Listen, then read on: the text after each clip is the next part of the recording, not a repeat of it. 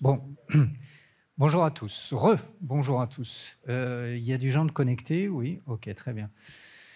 Alors, euh, désolé pour ce petit retard, euh, petits problèmes techniques. Euh, aujourd'hui, cette session-là est dédiée. Alors, on peut, on peut ouvrir le fichier que j'avais préparé sur les ateliers. Voilà, deuxième atelier, c'est juste après. Voilà. Ce deuxième atelier euh, va être euh, donc, animé par euh, Guillaume et nous. Guillaume est donc quelqu'un qui travaille à Endemia et qui va nous faire une petite présentation et nous parler d'Endemia au début de, cette, de session. L'idée étant dans cet atelier de parler de végétation, vous l'avez bien compris, et de, de, manière générale. Et on voulait inclure dedans une partie MOS, pourquoi? Parce que euh, durant, euh, durant l'année qui a suivi et tous les ateliers qu'on avait fait sur le MOS, il y avait quelques il y avait eu quelques petites remarques, notamment sur la restitution, euh, concernant la végétation. Et donc, on voulait réaborder cette question dans, le cadre du MOS. Donc, on va en parler aussi. Et puis, il va y avoir aussi une intervention d'Alexander, qui est Alexander Verger, qui est un, chercheur de l'Université de Barcelone, qui, ben, en fait, pour lui, il va se connecter à, mi-chemin de la session et qui va nous présenter des, applications et notamment des développements d'indices de, végétation qu'ils ont fait dans, différents projets. Et donc voilà, donc du coup, bienvenue et je vais laisser assez rapidement la parole à Guillaume pour, euh, pour vous parler d'Endemia et euh, des, des, actions d'Endemia et les applications qu'ils ont avec euh, les images satellitaires. Est-ce que tu as une présentation, pas particulièrement? C'était pas, c'était pas prévu comme ça. tout est dans la tête. Bonjour à tous. Donc, on se connaît un petit peu. Donc, moi, c'est Guillaume Lanuzel. Je travaille chez l'association Endemia. Donc, je suis chargé de mission pour la conservation des espèces rares et menacées. Alors Endemia, c'est une, je ne sais pas si ceux qui connaissent, une association naturaliste euh, au départ, qui est notamment porteuse euh, du, site euh, éponyme endemia.nc. Et depuis 2014, l'association porte également l'autorité de la liste rouge en Nouvelle-Calédonie. Donc il y a ce travail entamé depuis 2014 d'évaluer les risques de, la menace qui porte sur chacune des espèces endémiques de Nouvelle-Calédonie notamment. Donc la flore, c'est comme ça que ça a commencé et que ça continue encore aujourd'hui. Et puis petit, petit, à petit, les animaux euh, terrestres pour l'instant, marins peut-être euh, en partie. Donc dans ce cadre-là, nous, euh, notamment, il y a ce travail d'évaluation du risque d'extinction des espèces, mais il y a aussi de plus en plus un travail d'action et de participation à la mise en place de, de, plans de conservation pour les espèces, et notamment pour faire le raccord avec le, la question du MOS et des végétations. J'enfonce un peu des portes ouvertes, mais les plantes, elles poussent dans des végétations particulières. Et donc pour nous, il est important de savoir comment sont réparties ces végétations pour essayer d'estimer comment sont réparties les espèces et faire le lien entre les deux, conserver à la fois les végétations qui abritent les espèces. À partir de là, il y a toujours eu un souci en Calédonie, c'est que personne n'a jamais réussi à se mettre d'accord pour dire que telle végétation était différente de celle-là. Et donc du coup, les, à ce jour, il n'y a aucun outil qui est reconnu par tout le monde comme fiable à l'échelle du territoire. Donc c'est deux trucs. Il y a des trucs qui sont reconnus par des gens à des petites échelles, il y a des choses qui existent à l'échelle du territoire, mais ceux qui ne sont pas reconnus par tout le monde. Et donc aujourd'hui, s'il y a un travail qui. Moi, c'est pour ça que je me suis intéressé à, la question du MOS, et donc en particulier aux végétations dans le MOS, et que ça me paraîtrait intéressant de réussir à avoir... Euh, à avoir euh, un, outil qui ressemble à ça. Au-delà de ça, du coup, en l'absence de, de, cet outil-là, de cette référence-là, nous, aujourd'hui, la télédétection, on l'utilise du coup à travers des, des proxys.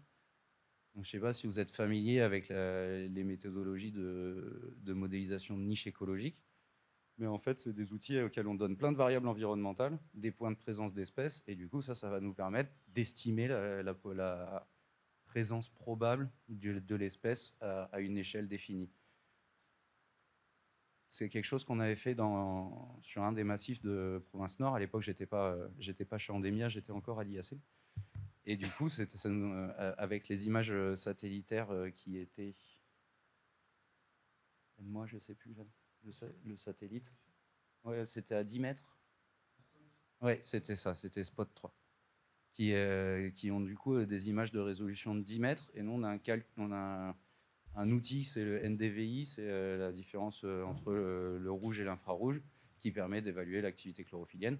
Et ça, il s'avère qu'en Calédonie, c'est un bon outil pour, pour estimer les végétations, en fait. Et en plus, au-delà d'être d'être un outil qui définit des classes de végétation, c'est un outil qui définit un continuum de végétation. Et ça marche bien par exemple, pour l'estimation, pour l'utilisation pour les SDM. Et j'imagine que le jour où le MOS sera fait, c'est un, des outils, qui, euh, un des indices qui permettra de calculer les classes de végétation. Donc voilà, c'était pour faire une petite présentation de nous, l'intérêt qu'on peut avoir là-dessus. Et donc maintenant, euh, c'est vrai que la question du MOS, elle est compliquée, notamment pour les végétations. Donc je pense qu'il euh, y, a quelques, il y a quelques points qui avaient été, qui avaient été soulevés l'année dernière comme étant encore problématiques. Et on est là aujourd'hui pour essayer de les régler, je crois. Tu...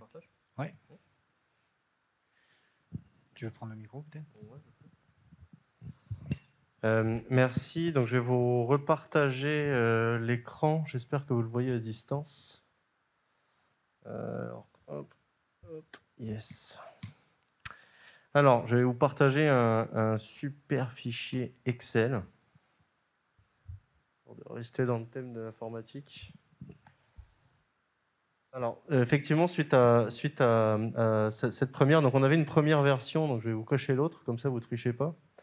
On avait une première version ici de, la typologie définie pour l'occupation des sols, euh, donc suite à différents ateliers, ça avait duré une, bonne année. Vous, ne devez pas voir.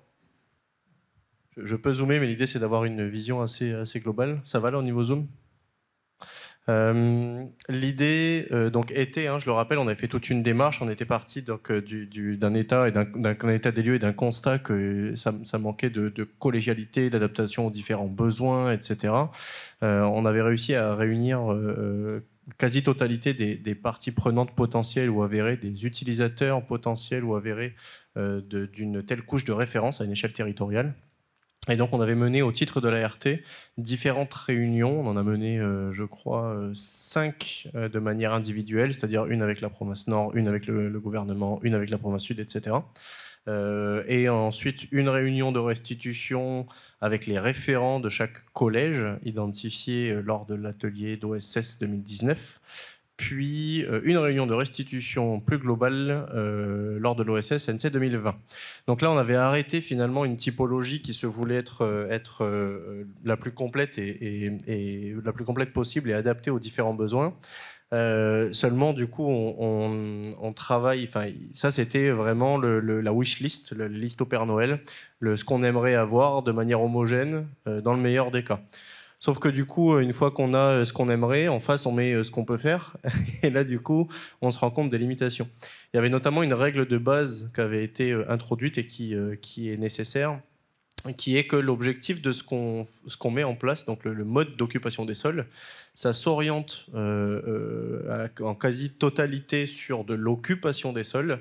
On peut intégrer des notions d'usage, mais la limite en fait de, cette couche-là qu'on veut produire, c'est la pleine, euh, comment dirais-je, la pleine objectivité dans la production de la donnée. Je m'explique.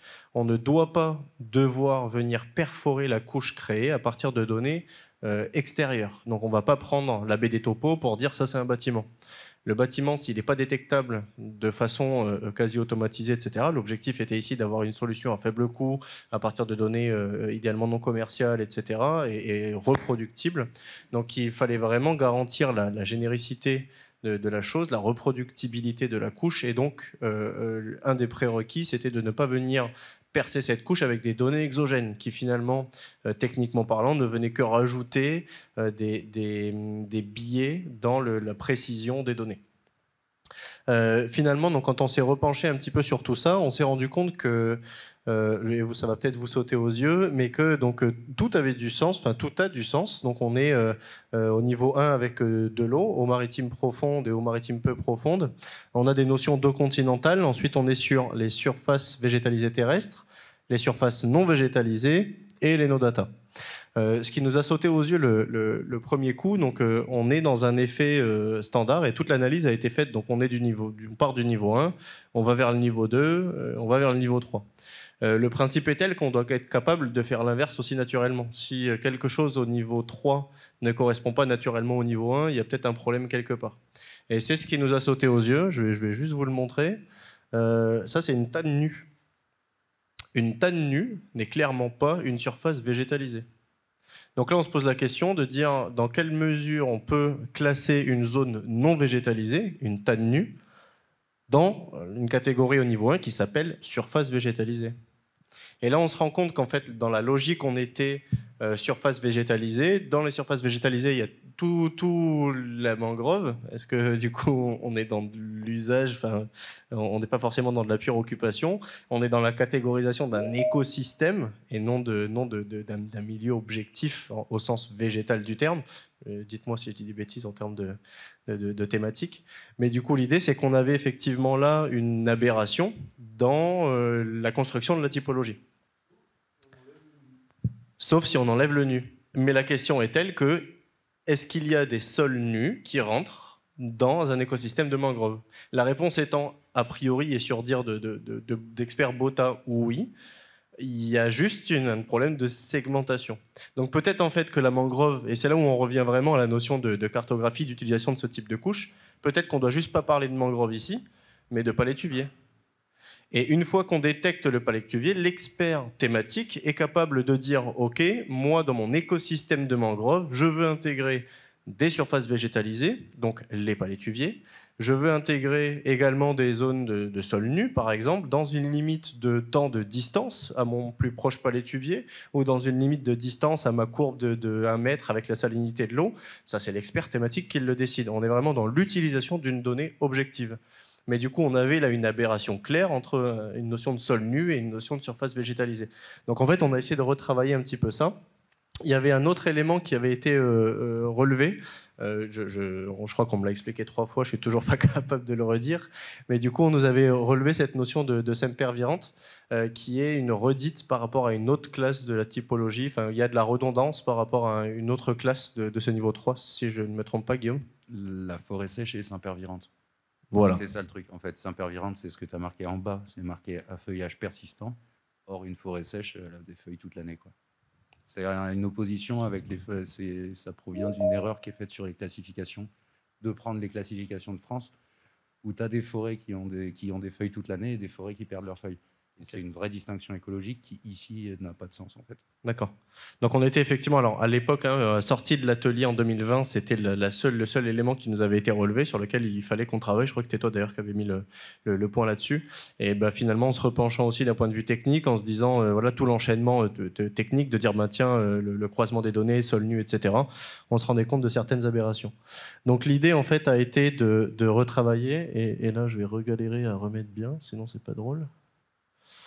Euh, oui, euh, la mangrove, effectivement, est, un écosystème, mais à ce moment-là, si on va jusqu'au bout de la démonstration, le maquis est un écosystème. Affirmatif. La, question est, surtout de savoir est-ce qu'on arrive à une aberration en fonction de ce qu'on est capable de détecter en termes de télédétection et ce qu'on n'est pas capable de faire? Si on était capable de, détecter euh, toute la structure d'une mangrove en restant dans une logique ici, euh, du coup, de, typologie emboîtée, si je puis dire, alors, euh, alors ça aurait pu rester. L'idée n'est pas de dire qu'on ne peut pas mettre mangrove parce que c'est un écosystème. L'idée est de dire qu'on ne peut pas appeler mangrove si on ne considère pas tous les éléments qui peuvent composer un écosystème de mangrove, dont la tanne nue. Et on ne peut pas mettre de la tanne nue si on est dans, euh, dans une catégorie au niveau 1 qui est surface végétalisée. Oui et non, un tannus soit, euh, mais pour moi, un tannus, c'est typiquement euh, quelque chose qui appartient à l'écosystème mangrove, c'est l'arrière mangrove. et euh, il est nu, mais il n'est pas si nu que ça. C'est-à-dire que si on va chipoter, il peut y avoir des petits végétaux très rares, voire il y a des films de, bactéries, de cyanobactéries. Donc voilà, la limite, je, suis d'accord, il faut discuter, mais la limite, elle est quand même. Alors la, limite nous concernant, elle est dans la. On reste hein, sur la notion de télédétection. à partir du moment où c'est détecté comme un sol nu, la cartographie, en fait, on va arriver à des biais et on va arriver à des, fausses données. Donc l'objectif, encore une fois, n'est pas de remettre en cause ce qu'est ou non un écosystème de mangrove. L'idée est de dire est-ce qu'on peut, de manière certaine, à partir du moment où au niveau 1, on distingue, on fait une segmentation entre ce qui est végétalisé et ce qui ne l'est pas, avec de l'imagerie spatiale, est-ce qu'on est capable d'avoir au niveau 2 une notion d'écosystème si tant est que cet écosystème n'est pas forcément constitué que de zones végétalisées au sens où on l'aura détecté au niveau 1. On est purement dans un aspect technique et pas un aspect euh, thématique, hein, c'est important. D'accord, mais le palétuvier, c'est pareil. Je suis pas sûre que de manière automatisée, on trouve que c'est un palétuvier. On va de la forêt. C'est l'œil humain derrière qui, par expertise, puisqu'il est en bord de mer et qui voit euh, notamment le tan derrière, etc., il va dire ça, c'est de la mangrove. Alors la notion de palétuvier, alors on va, arriver juste après hein, sur la cartographie effectivement à, proposer, enfin la nouvelle typologie.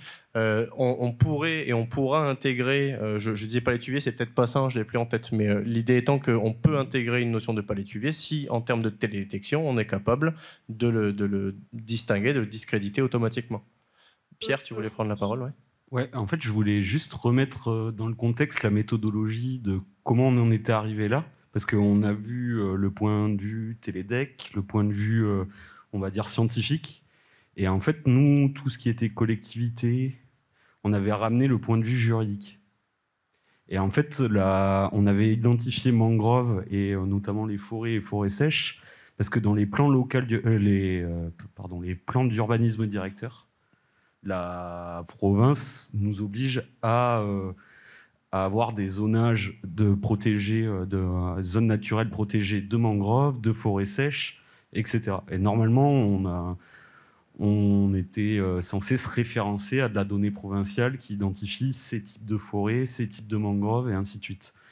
Et en gros, ce qu'on disait, c'était est-ce que c'est pas, et notamment la ville du Monde d'Or avait, avait émis ça, c'était est-ce qu'on pourrait pas utiliser le MOS pour le caler à l'échelle, vu que c'est du 5 millième, pour le caler à l'échelle, avoir un état des lieux au 5 millième de ce qu'est un PUD. Et nous, ça nous permet euh, d'avoir le suivi par rapport à comment on a protégé et comment en fait euh, ça évolue. C'était euh, c'était ça. Donc du coup, ça devient très juridique là aussi là des, le choix méthodologique. En fait, moi, il n'y a pas de mal à dire que le, la TANU, elle se retrouve dans les zones non, etc.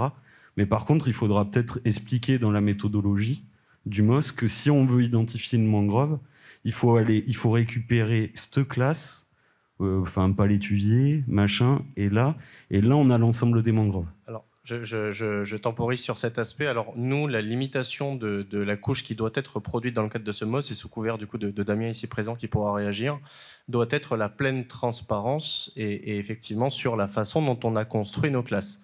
Par contre, si derrière on cherche à avoir une cartographie spécifique d'un écosystème, par exemple, la mangrove est un très bon exemple, il faudra avoir attrait à un expert thématique, qu'il soit public, privé, recherche. Là, il y avait euh, Valérie Vaillet qui intervenait donc avec un bureau d'études, qui connaît très bien le sujet, qui a même à partir d'une donnée qui est construite de manière totalement objective, d'avoir une, couche, donc une, nouvelle couche, une nouvelle cartographie qui est construite en considérant des aspects thématiques.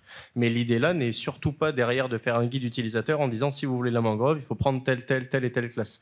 Puisque si ça se trouve, et là on veut surtout pas rentrer dans ce genre de débat, la mangrove c'est peut-être pas aussi euh, complexe que d'autres, mais euh, euh, les notions de quel, enfin, quel type de, de, de, de plante ou autre, ou quel type de milieu rentre dans quel écosystème, on peut avoir des débats sans donc en fonction, par exemple, de l'expert, peut-être que la, définition des classes à intégrer dans l'écosystème mangrove ne sera pas la même. Alors c'est peut-être le mauvais exemple, hein. encore une fois, je ne suis pas assez expert du domaine, mais c'est là où on va pouvoir euh, euh, confier cette cartographie qui se veut être une couche de référence la plus objective possible et avec le plus haut level possible, euh, et derrière confiée à des experts du domaine, qu'ils soient experts botaniques ou qu'ils soient du coup bureau d'études spécialisés en environnement, etc., euh, pour produire des couches thématiques spécifiques. Attends. Donc Aquaterra encore. Si vous pouvez juste vous, vous présenter, on fait. euh, Pascal Afro, Aquaterra. Lors du dernier OSS, euh, Marc euh, Despinois et, et toi-même, vous avez dit quand même que les MOS auraient plusieurs formes, c'est-à-dire des MOS, des MOS généraux, où on trouverait ces trois niveaux, et d'autres beaucoup plus spécifiques euh, à des terrains plus réduits, etc. etc. Plus, enfin, je veux dire, moins généralistes. quoi. Alors je, je pense qu'on parlait surtout de, des différents niveaux. Alors il y a différents aspects. Il y a la typologie à Non, on trois parlait niveaux. de différents MOS, hein, il me semble. Alors le, le- le- alors oui, peut-être qu'il y a Enfin, eu un Marc, en tout cas, moi, Ouais, on avait parlé ensemble de ces différents MOS qui étaient euh, pas spécialement euh, les trois niveaux comme ça. Il me semble. hein. On avait peut-être. Alors, il y avait eu des présentations, hein, pour rappel des- des- de ce qui peut se faire dans d'autres euh, territoires. Je pense directement à la métropole. Euh, J'ai plus le, le nom, mais euh, du coup, il y a des, des notions de nomenclature croisée. On a d'un côté le land cover, de l'autre côté le land use. Donc là, on est sur deux types. Ce n'est pas du MOS. C'est un côté occupation des sols et de l'autre côté Usage. euh, usage des sols. Donc on est vraiment sur deux choses différentes, de façon d'appréhender différemment les milieux. Euh, mais euh, du coup, nous, 'fin, au niveau de la Nouvelle-Calédonie, et c'est là où on s'est directement rejoint avec Damien et les utilisateurs du club de la géomatique, c'est de dire que sur cette typologie qu'on définit à trois niveaux, il y avait un niveau 4 potentiel qui pour le coup avait beaucoup plus attrait au niveau communal, puisque plus on va rentrer dans les niveaux, plus on rentre dans un niveau de détail qui va demander plus de, résolution euh, et de, différence d'échelle. Là où les niveaux 1 et 2 pourraient être faits de manière automatique tous les ans avec des données non commerciales, l'idée c'est quel est quel niveau de segmentation. Est-ce que peut-être à partir du niveau 3, voire du niveau 4, on passe euh, à du spatial submétrique commercial euh, et à de l'aérien, voire à des, données terrain. Et l'idée étant de garantir encore une fois cette continuité de l'information pour que quand on rentre une information au niveau 3 ou au niveau 4, avec des MOS euh, moins récurrents et, plus chers finalement en production, on puisse alimenter une couche de base des niveaux 1 et 2 qui, elle, est mise à jour plus récurrente. Est-ce que, est-ce que ça, ça a du sens et ça rejoint le... Ah oui, oui, oui, c'est tout est critiquable à chaque fois pour euh, ce que vient Oui, de dire. euh, Pardon? Mais- Ah si, si, si, enfin, il n'y a pas de... Bah, Jusque-là, bah- on a trouvé une collégialité, on a juste trouvé là une incohérence euh, technique, non pas thématique, technique. C'est pour ça que là, on revient, on refait un pas en arrière sur une notion thématique, qui est le, par exemple là, c'est le cas de la mangrove. On a, on a trouvé un autre exemple, je ne sais plus exactement où, mais je pourrais vous le mettre. Et on, fait un pas en arrière, du coup, en se disant attention, techniquement, il y a une aberration qui fait que euh, si on va produire une carte, on va, on va avoir attrait à des, à, des, à des faussetés. Notre carte va être fausse. Notre zone, zonage des mangroves ne va pas être bon. Il y aura une non-correspondance entre le niveau 1 et le niveau 3. Donc là, c'est juste techniquement qu'on remet en cause des aspects thématiques, euh, non pas le, contenu de la thématique, mais la capacité d'intégration du contenu thématique dans de telles cartographies. L'idée, euh, pour établir une typologie, je, suis- d'accord, hein, on a mis énormément de temps avant de trouver un, terrain d'entente, et ce terrain d'entente n'est n'est jamais parfait. Euh, il est constitué de quoi? Il est constitué de plusieurs réflexions, aussi bien au niveau légal, au niveau ce que l'on peut faire avec de la télédétection, donc euh, détecter euh, des aspects biophysiques des objets, et puis euh, le côté euh, ben, écosystème. Il faut, aussi que ça corresponde à quelque chose. Et donc du coup, globalement, on était à peu près satisfait des, deux premiers niveaux. Le troisième commençait à, poser problème parce qu'effectivement, on se retrouvait avec des notions beaucoup plus fines. Dans certaines, d'ailleurs, on a enlevé des usages parce qu'on avait mélangé les usages aussi. Et euh, du coup, on s'était arrêté là-dessus et euh, ça avait plus ou moins fait un consensus.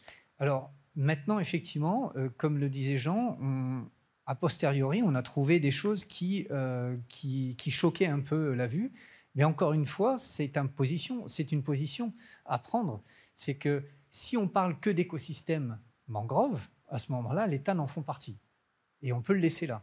Mais si on parle effectivement d'un point de vue purement biophysique, c'est pas une surface végétalisée, ou très peu, même si on voit un peu de salicorne par là, c'est quand même pas euh, de la forêt, c'est majoritairement des sols nus sursalés.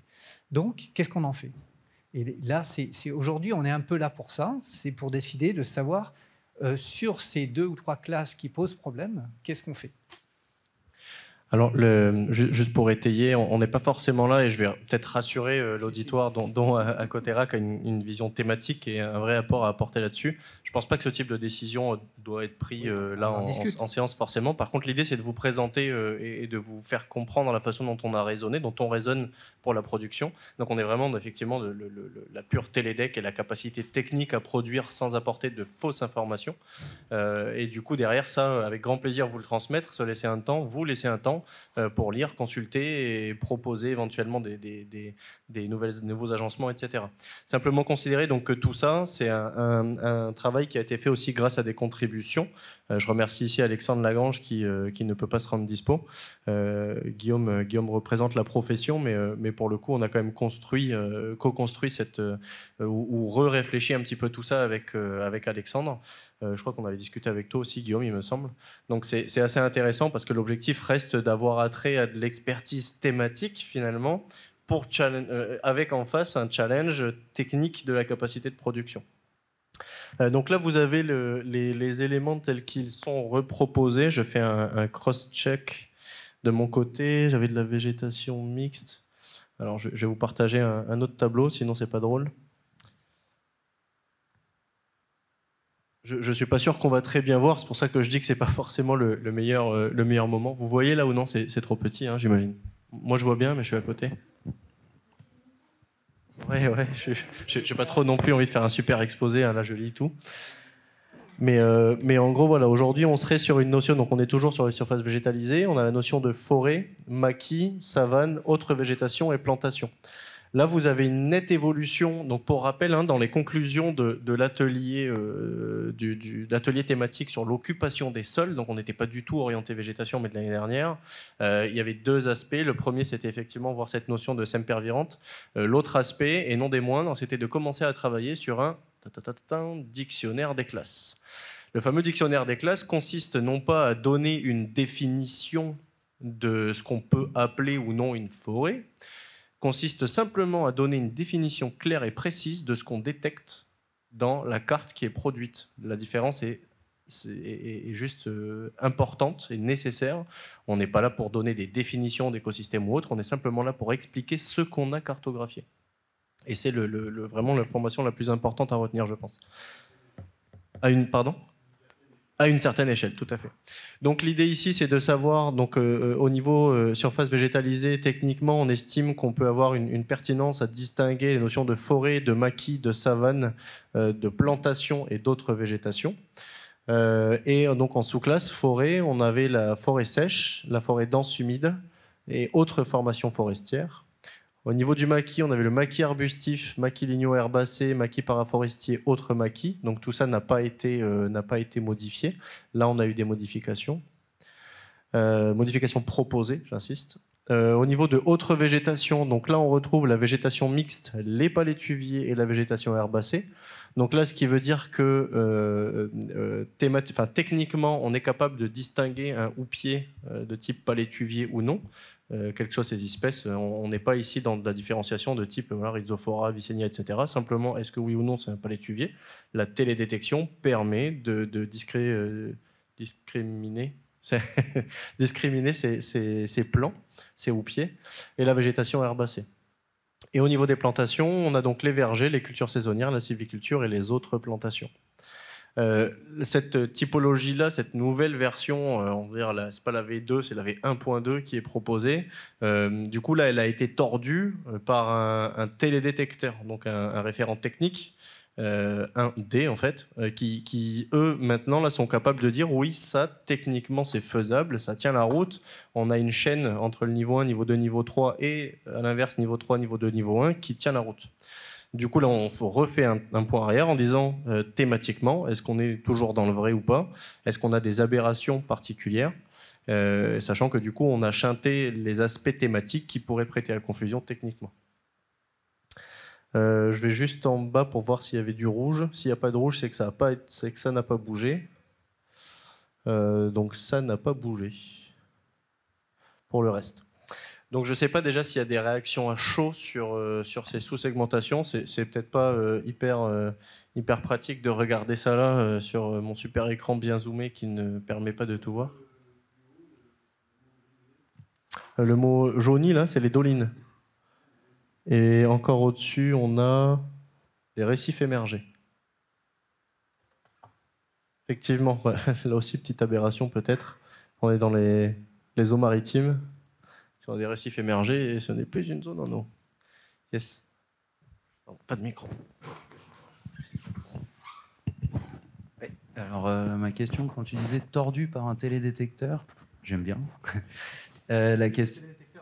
Ouais, c'est ça.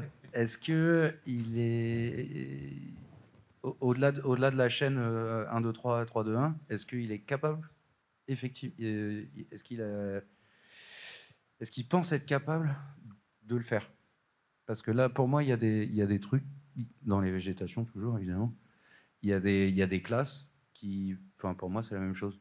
Tu avais un truc dans autre végétation qui était végétation herbacée, tu avais dans savane, savane herbacée, et tu avais dans maquis, maquis lignon herbacé. La question, c'est euh, s'il y a un télédétecteur qui a regardé ça, est-ce que lui, il a dit oui, ça c'est bon, euh, ce truc-là, d'un point de vue télédétection, il marche? Alors, ça, a été effectivement, du coup, si vous m'entendez, je peux parler là parce que le micro est dans le, dans le PC. Euh, là, ça a été réfléchi, donc effectivement, avec, enfin, c'était, ils étaient tous les deux l'un à côté de l'autre, donc avec Alexandre et, Guillaume pour le coup, enfin, l'autre Guillaume. Euh, et pour le coup, donc euh, c'était la, la, question qui se posait, c'était oui, mais du coup, par exemple, une zone herbacée, euh, comment je la distingue? Ils sont arrivés à une différenciation des différents milieux qui, pour le coup, étaient herbacés tous les deux, mais qui avaient des, différenciations dans leur écosystème ou dans leur milieu, en tout cas, d'un point de vue zone géographique, étaient capables d'être distingués. Je ne saurais pas te dire là comment, je, pense et j'espère que c'est dans la définition des classes, en tout cas, c'est l'objet du travail qu'on mène au niveau de l'ART. Je rappelle hein, qu'on n'est pas financé pour le faire. Euh, donc du coup, l'idée, c'est de, donner une définition aussi claire que possible. Le rôle du télédétecteur dans cette discussion a été de challenger justement en disant mais attends, enfin moi comment je le distingue, comment j'arrive à discriminer cette zone de cette zone. C'est toutes les deux des zones herbacées en télédétection, c'est la même chose. Et en fait, à partir du moment où avec un croisement de données géographiques simples, on est capable de le faire, alors on estime que c'est faisable. Typiquement. Il y a aussi la densité dans une zone complètement herbacée, il n'y a que de l'herbe. Je disais que dans une zone herbacée, il n'y a que de l'herbe, hein, on va dire.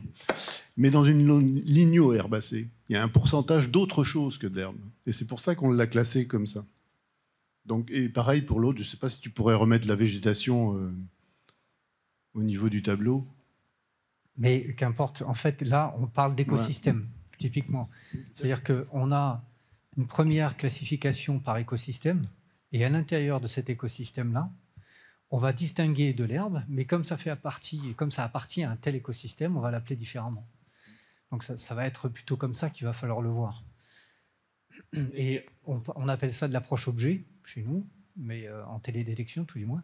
Donc on segmente, si, si vous voulez, le milieu d'abord avec euh, par écosystème, et après on sous-segmente par, euh, par différents objets qui, qui, qui, contient, enfin, qui sont contenus dans cet écosystème-là.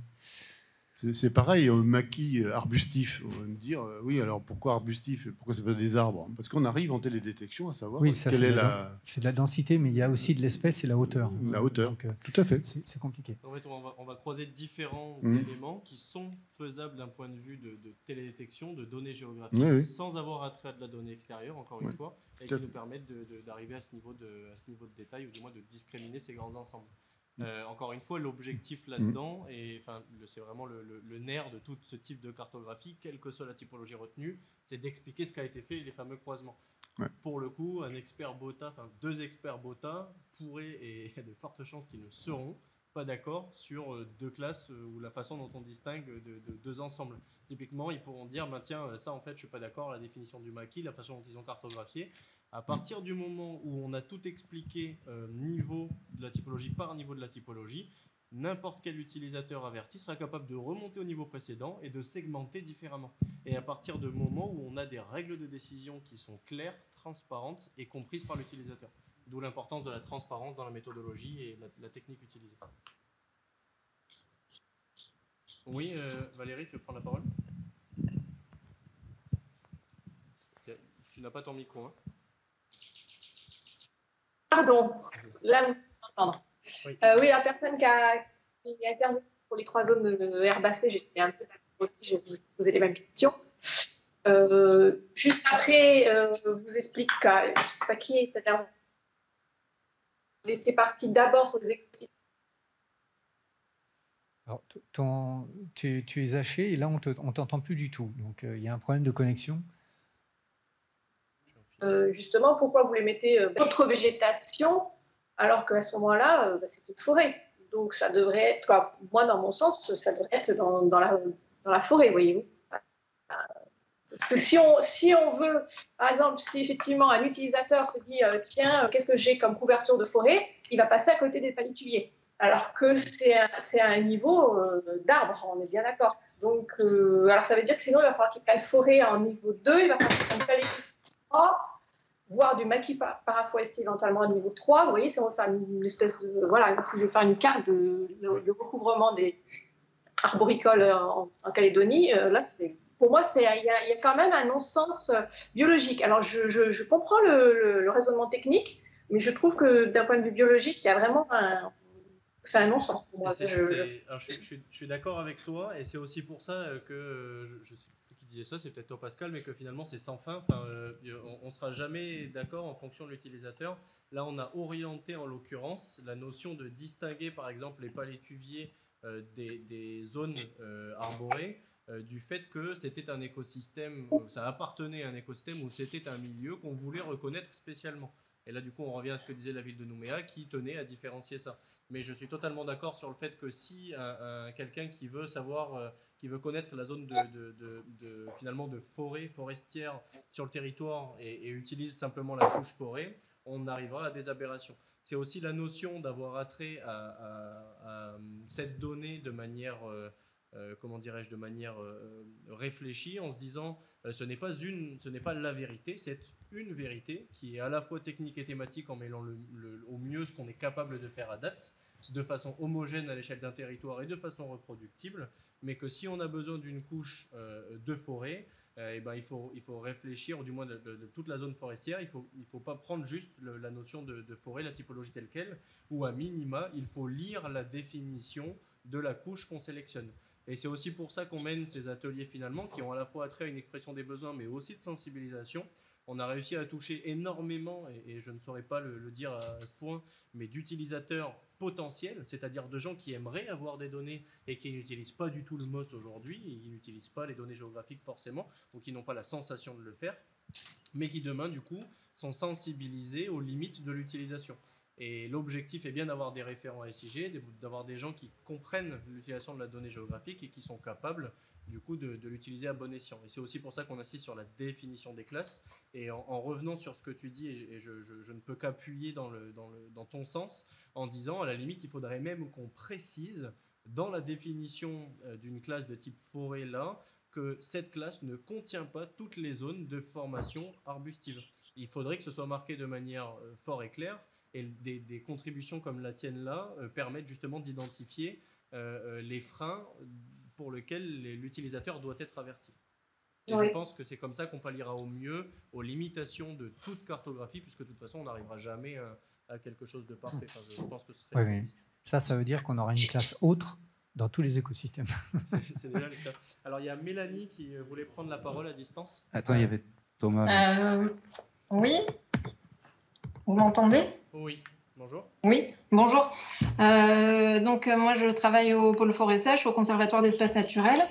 Et euh, en fait j'ai des questions par rapport à ce que tu dis justement, et notamment par rapport au fait que la définition de ce qui est sur la carte est effectivement très importante, mais du coup qu'elle peut être différente de la définition de l'écosystème. Et je pense notamment euh, ben, à la forêt sèche euh, et notamment aux difficultés que nous avons rencontrées euh, avec la cartographie des forêts sèches de la commune de Boulou-Paris et au nombre de vérifications terrain que cela a demandé. Et je voulais savoir comment, avec le MOS, justement, ce genre de, problème pourrait être pris en compte.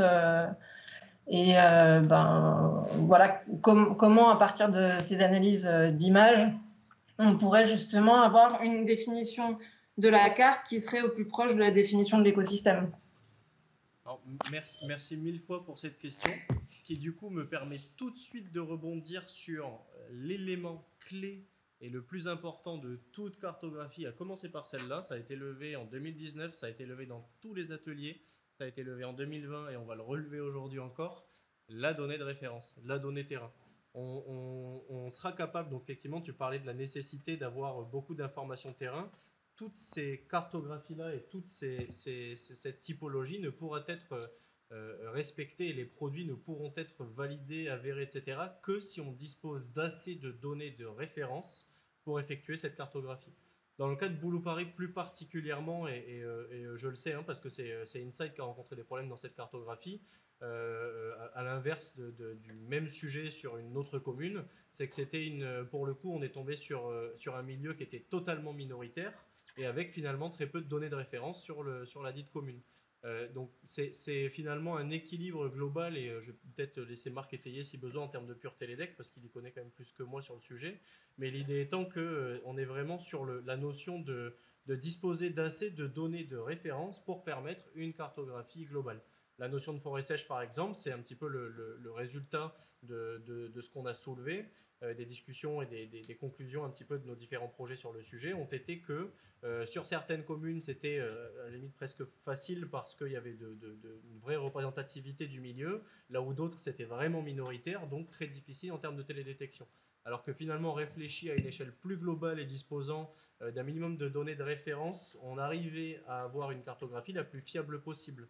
J'insiste aussi du coup sur un second point qui est que à partir du moment où on ne part plus de zéro, on a toujours des, facilités finalement à mettre à jour des cartes, puisqu'il euh, y a des mises à jour au fur et à mesure, et que les données de référence, euh, le, gros boost est à mettre au début, là où ensuite ça se fait beaucoup plus euh, facilement ou, beaucoup plus simplement, je pense. Est-ce qu'il a répondu à ta question?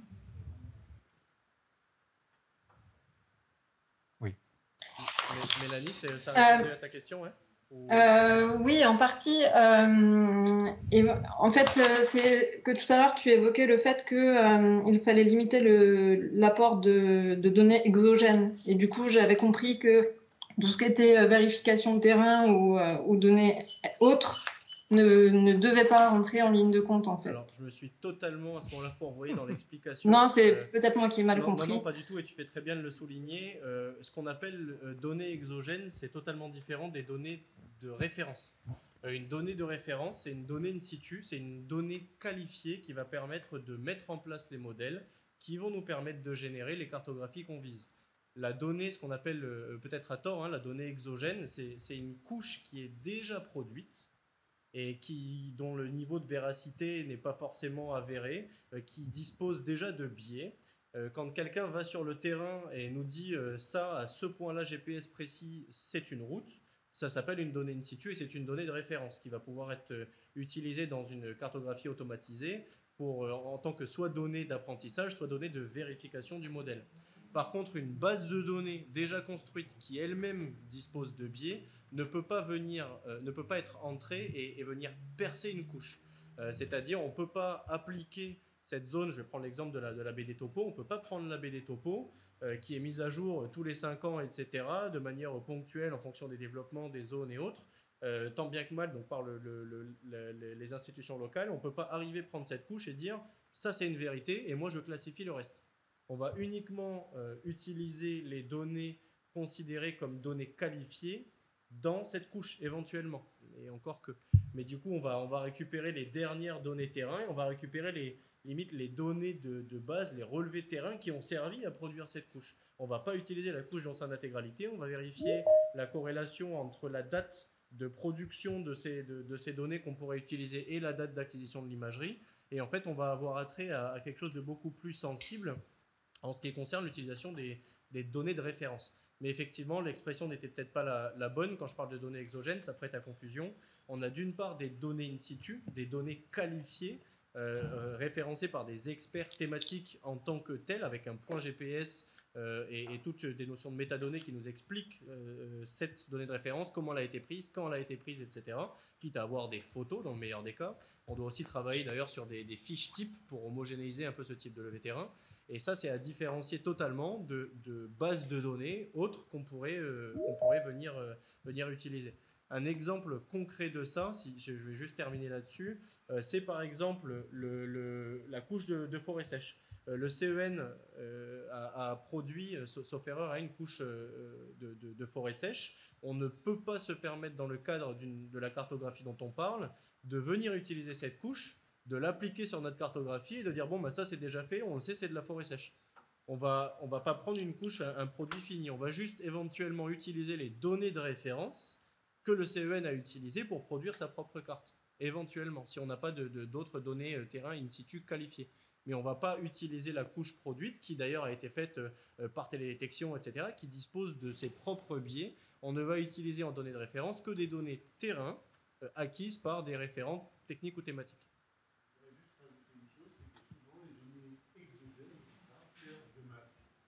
Oui, effectivement. Donc, Pascal précise que souvent les données exogènes dont on parle servent de masque. Je, confirme, en cartographie, on a tendance, quand on utilise des, couches, des bases de données comme ça, on prend la couche, on sert de masque, effectivement, on revient à se dire, bon, ben, ça c'est fait, c'est cartographié, maintenant je me concentre sur le reste. Ça ne doit pas effectivement être un masque.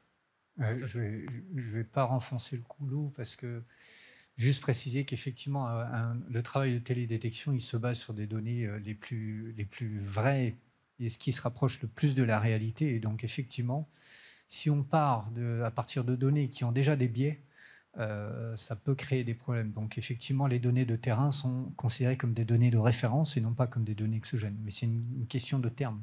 Je crois qu'il y avait une question de Thomas, là-haut. Euh, oui, merci. Euh, Thomas Gaillard de Ecosophie. J'avais juste une question concernant la définition des maquis paraforestiers, parce que je n'arrive pas à lire. Est-ce que vous parlez de, des maquis euh, à gymnostoma, typiques des paysages du sud, ou, euh, ou alors euh, qui, ont d'ailleurs une signature spectrale assez particulière, ou si c'est un stade d'évolution vers, vers la forêt? Je n'aurais pas du tout répondre à ta question, si ce n'est en te donnant la définition Merci. qui est là. le, maquis paraforestier, c'est marqué comme formation arbustive dense de plantes de maquis constituées de grands individus et précurseurs du stade forestier. La formation est souvent présente dans les zones de maquis les plus humides, criques, talwegs et en lisière forestière. c'est la définition qui a été là, donc euh, je ne sais pas si ça t'aide, mais peut-être que Guillaume, euh, d'un point de vue euh, environnementaliste, botaniste, pourra peut-être apporter des informations, non? Il me semblait qu'on ne rentrait pas dans ce débat-là, justement.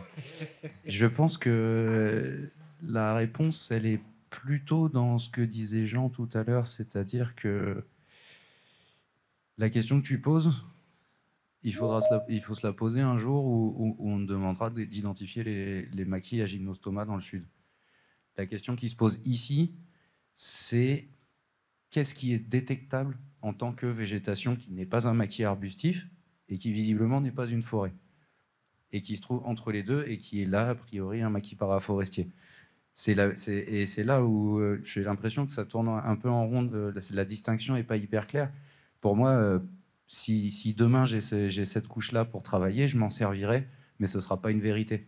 Ce sera un outil parmi d'autres. Tu vois?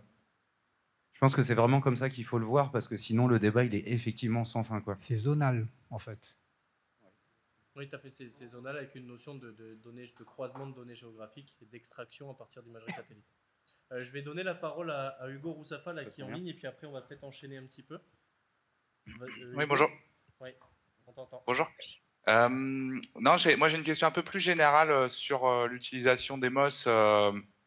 Il y, a, y, a, y, a, quand même une grosse attente sur la, la, partie évolution, évolutivité en fait des, des paysages. Et euh, est-ce que le fait de changer quand même euh, les classes, euh, est-ce qu'il y, a quand même de, prévu des, ponts entre les précédents MOS et, celui-ci? Alors, c'est tout un débat. la question était notamment, alors ça a été soulevé dans, les, dans, les, dans le premier OSS, donc en 2019.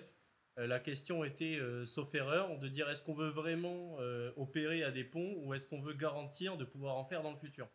Donc euh, le premier objectif, c'est de garantir la pérennité de ce qu'on va mettre en place.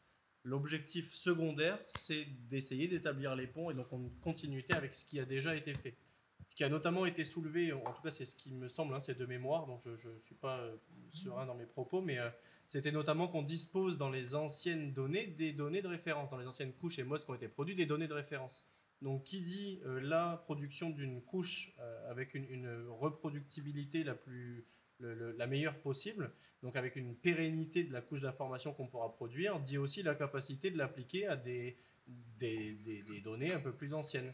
Et donc, on avait notamment les données euh, Spot 6.7 là, qui ont servi au, dernier MOS. Euh, ces données pourraient être, on pourrait imaginer repasser à la moulinette ces données-là euh, pour essayer de voir ce que pourrait donner la continuité. Mais sauf erreur, donc, et, Damien du, du, gouvernement et du club de la géomatique acquiescé, a priori, sur le, fait que l'objectif était de garantir la pérennité sans, sans, se dire il faut absolument coller, à, il faut absolument coller au dernier. Et de sorte notamment que les croisements se feront assez naturellement, et s'il le faut, que dans des grands ensembles. Et s'il faut qu'on croise juste la notion de végétation, de non-végétation, ça fera déjà un minimum de, continuité. Mais ce n'était pas la priorité affichée. Quoi. Ou au moins jusqu'au niveau de, dit Pascal, effectivement. Autant qu'on le pourra, dis-moi. Ça répond à ta question, Hugo? Oui, merci. merci. Euh, vas-y, Pierre, après on.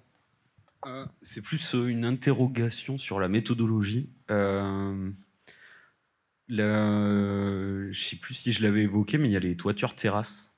Euh, les, du coup, les toitures terrasses végétalisées.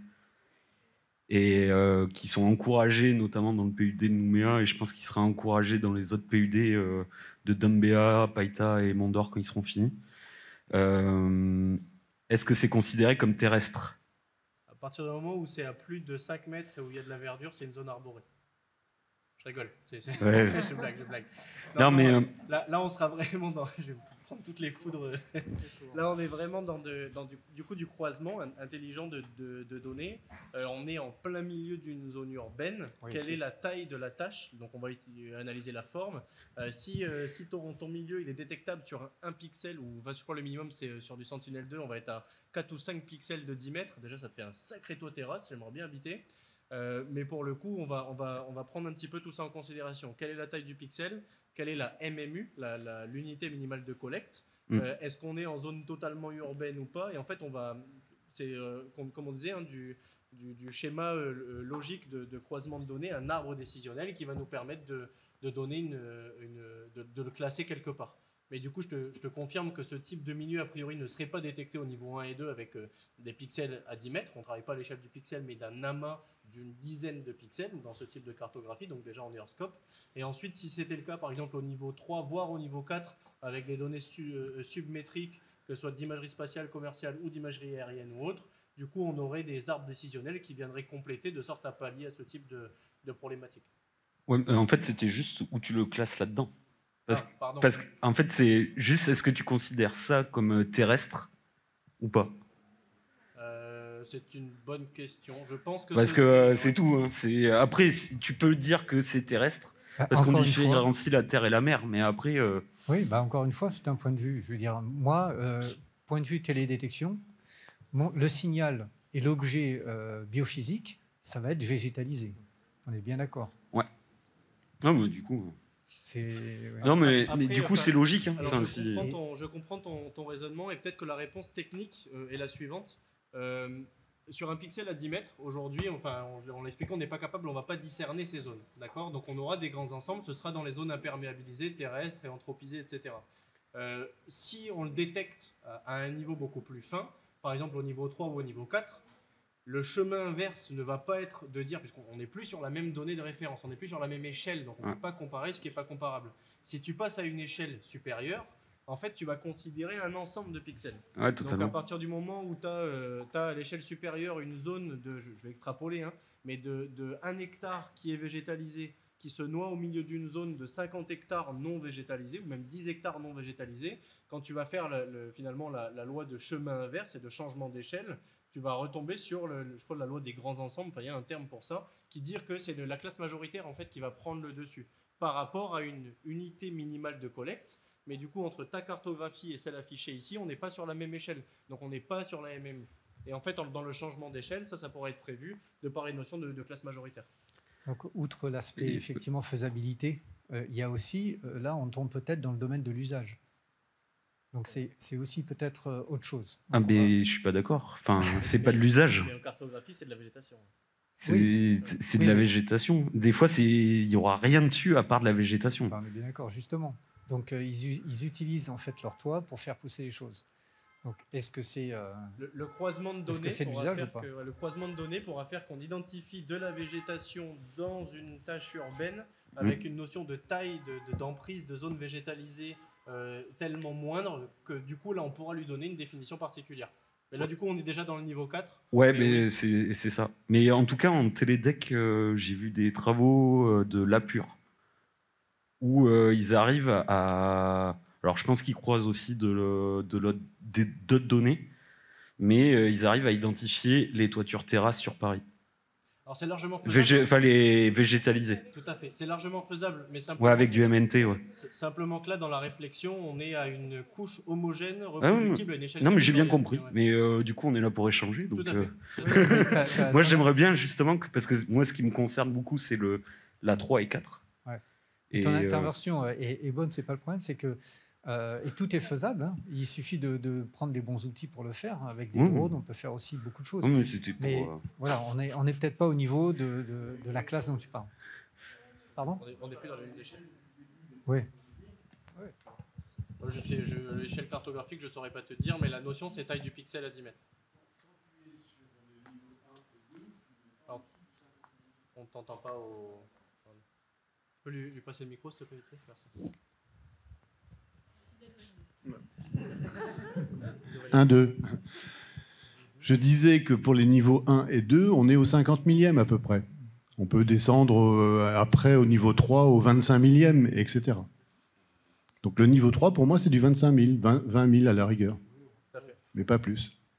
Donc pour répondre à ta question, pour les toits végétalisés, c'est pratiquement impossible euh, à ce niveau-là. Ça dépend de ton échelle. Et après, il sera tout seul. Ouais, pas de souci, on, on aura l'occasion de rediscuter, ça, ça fera l'objet de niveau 4, mais c'est euh, techniquement faisable et, euh, et, euh, et pour le coup, c'est des cas intéressants. Euh, je vous propose de, de continuer. Donc, euh, il y a euh, Alexander qui nous a rejoint euh, euh, donc pour une, une intervention à, à distance. Euh, Alexander, tu nous entends?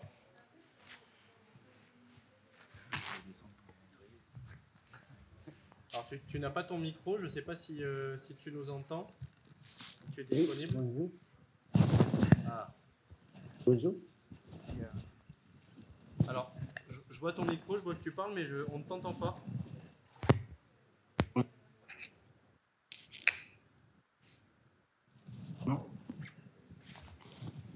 Ça, ça va Allô, pas allô Oui.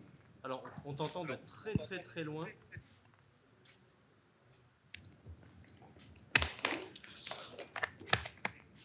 On, on a les sons du, de, de l'ordi, mais, euh, mais on n'entend pas la voix.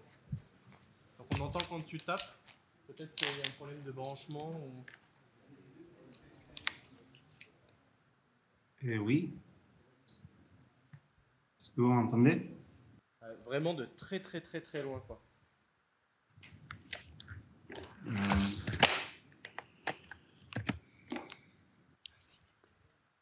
euh, Je sais pas, j'essayais de connecter les, Là on t'entend bien. les, les micros. C'est bien, c'est bon maintenant Oui, là c'est Oui, parfait. Très bien. Ok. Euh, par contre, je vois pas l'option de connecter les vidéos. De, de, de partager l'écran ou de mettre ta vidéo? Non, de, de, de, de- non, la, la caméra. Il n'y a pas l'option d'activer la caméra. Ah, c'est étonnant. Bah, nous, euh, moi je l'ai à mon niveau.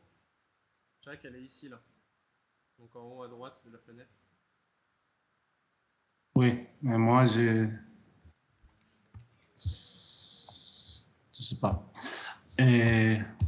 C'est Bon, pas trop grave, à la, à la limite, est-ce que euh, si ça te va, donc on peut te laisser te présenter et, et partager ton écran pour, euh, pour, euh, pour ta présentation On part sur lui, hein d'accord. Oui. On va, on va, par- on va passer euh, à la prochaine présentation. euh, d'Alexandre Verger. Il va, il va se présenter lui-même. Il est connecté, euh, le pauvre, depuis la métropole, donc il est, il est très, très tôt pour lui. Donc Alexandre, si, si tu veux, on peut, nous, passer ta, ta présentation ou alors tu partages l'écran. C'est comme tu veux. Euh, J'essaie de partager. D'accord.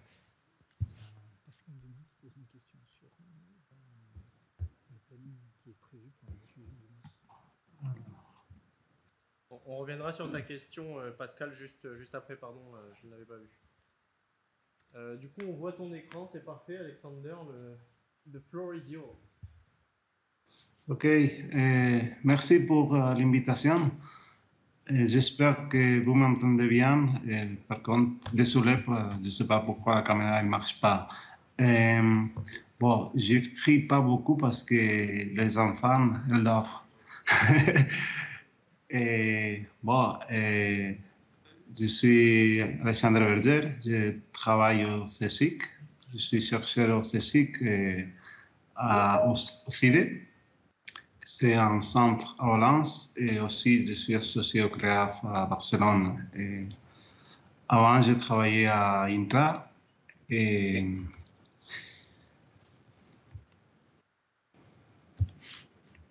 Et bon, je, vais vous présenter euh, les produits qu'on a développés dans le cadre du programme Copernicus Global Land Service et dans le cadre des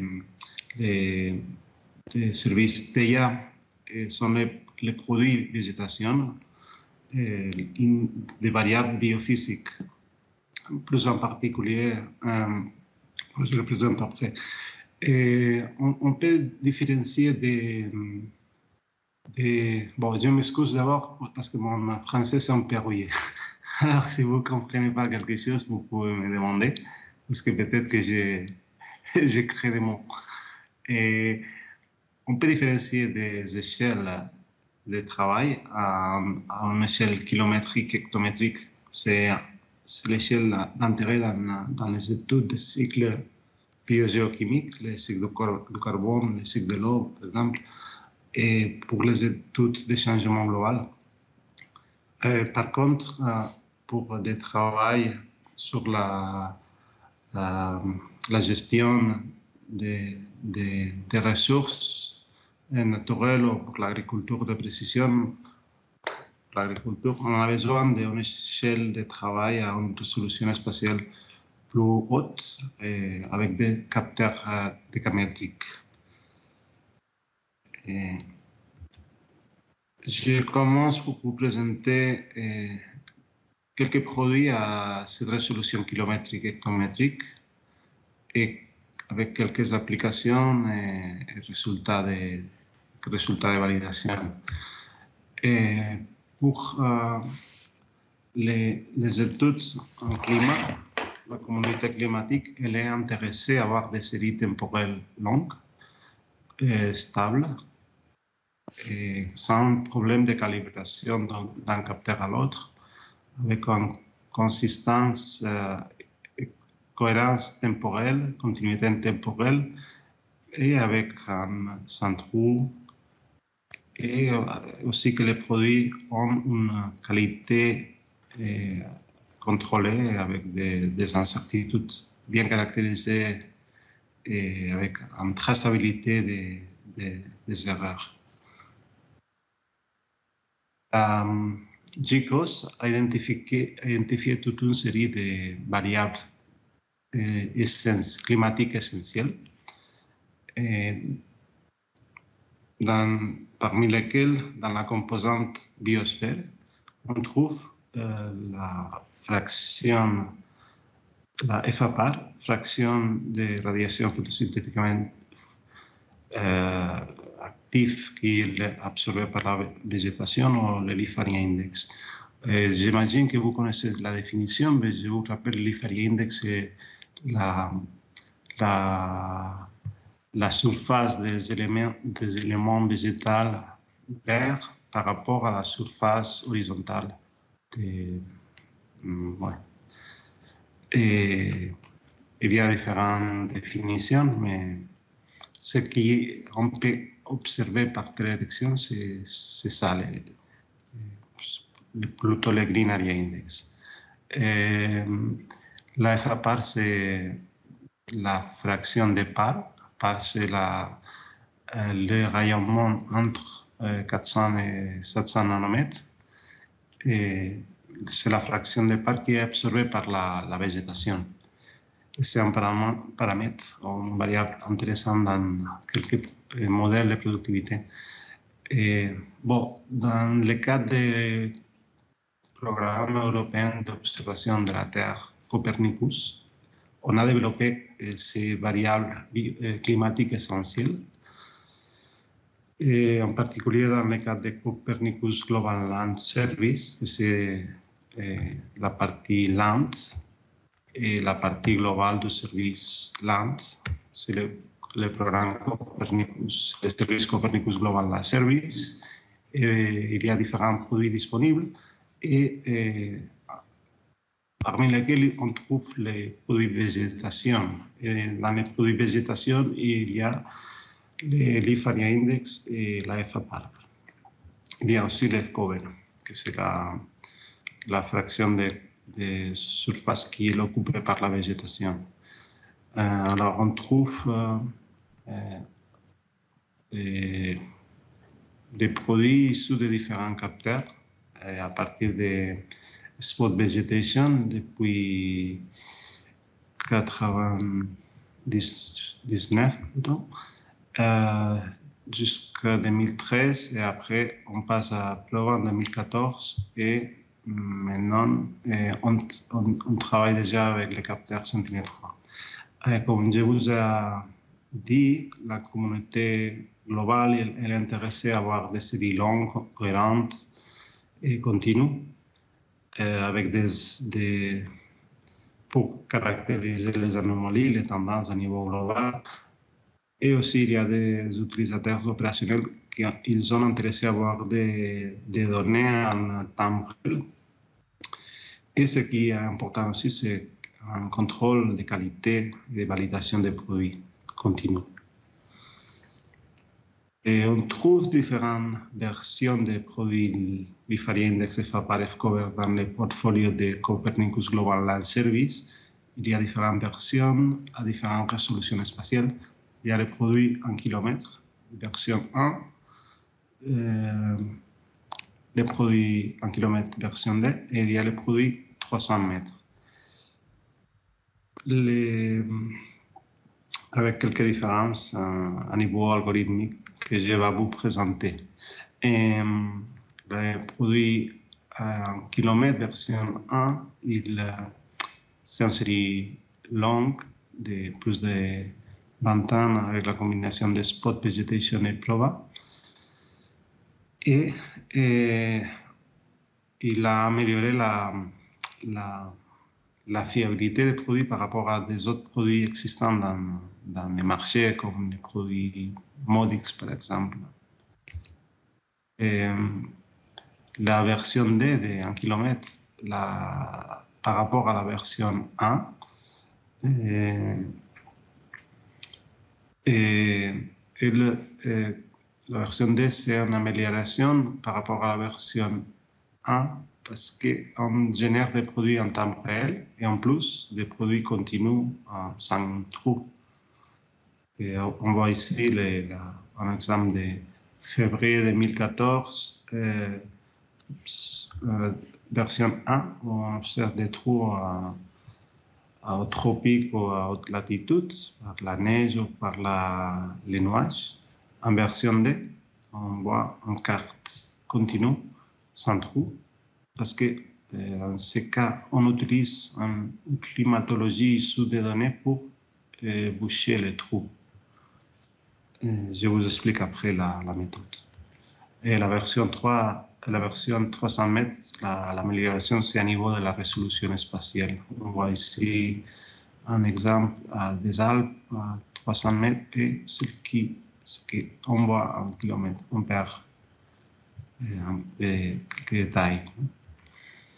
Et le principe général de, de l'algorithme Copernicus Global Land Service, que Et il se base dans, il y étapes dans l'algorithme. Il y a une première étape où on transforme les réflectances des différents capteurs en, un produit biophysique, l'IFARIA Index et FAPAREF Et pour le faire, on utilise des de machine learning, en particulier des réseaux euh, neural networks, euh, réseaux de, de données. Euh, oui, réseau neuronal. Et euh, alors, cette, première étape, on transforme les, observations, euh, les réflectances en euh, produits biophysiques après avoir euh, entraîné la, la, la, pour la, phase d'entraînement des, des, réseaux, on utilise des produits déjà existants, des produits biophysiques déjà existants qui ont fusion pour générer un produit fusionné à partir de différents produits existants qui prennent en compte les bénéfices des de, de, de, de, produits déjà existants et qui minimisent les, problèmes que présentent ces produits selon les différents euh, exercices de validation que l'on fait. Alors, une fois on a généré cette meilleure estimation et on, calibre euh, les réseaux, et une fois les réseaux sont déjà entraînés, on peut les, tourner en, opérationnel en prenant comme entrée les réflectances des capteurs qui donnent comme issue un produit biophysique. La version 1, c'est des, produits en kilomètres, c'est justement ça. On utilise des, comme réflectances d'origine des, des composites temporels à 10 jours. Ce sont des réflectances normalisées des, effets directionnels et on les sorties de les réseaux sont les produits finaux. Euh, par contre, dans la version D en kilomètres ou la version 300 mètres, en plus de cette étape des réseaux, la, dans la réseau, on utilise des données journalières comme entrée, à la différence de la version 1. Et on ajoute aussi les angles, la géométrie d'observation comme entrée des réseaux. Et en général, on produit journalier, un produit instantané et un produit physique instantané. Mais à la fin, les produits finaux euh, sont euh, des produits décadents en, en, fréquence de 10 jours. Et pour, euh, pour avoir ces produits décadents, on, on, fait une composition de il y a une étape de composition, de lissage des, données journalières et éventuellement de gap filling à, la version D. Bon, la première étape, l'utilisation des réseaux neuronaux, on utilise un réseau assez simple de, avec une couche, euh, un, une couche cachée de cinq neurones sigmoïdales avec et une avec un neurone euh, linéaire. Et ici, on voit les performances des, des, réseaux. Par exemple, ici, euh, c'est les réseaux qu'on utilise pour le générer le produit Sentinel-3 qu'on a que j'avais entraîné à partir des produits Prova les produits existants prouvent. Et ça, c'est la performance théorique.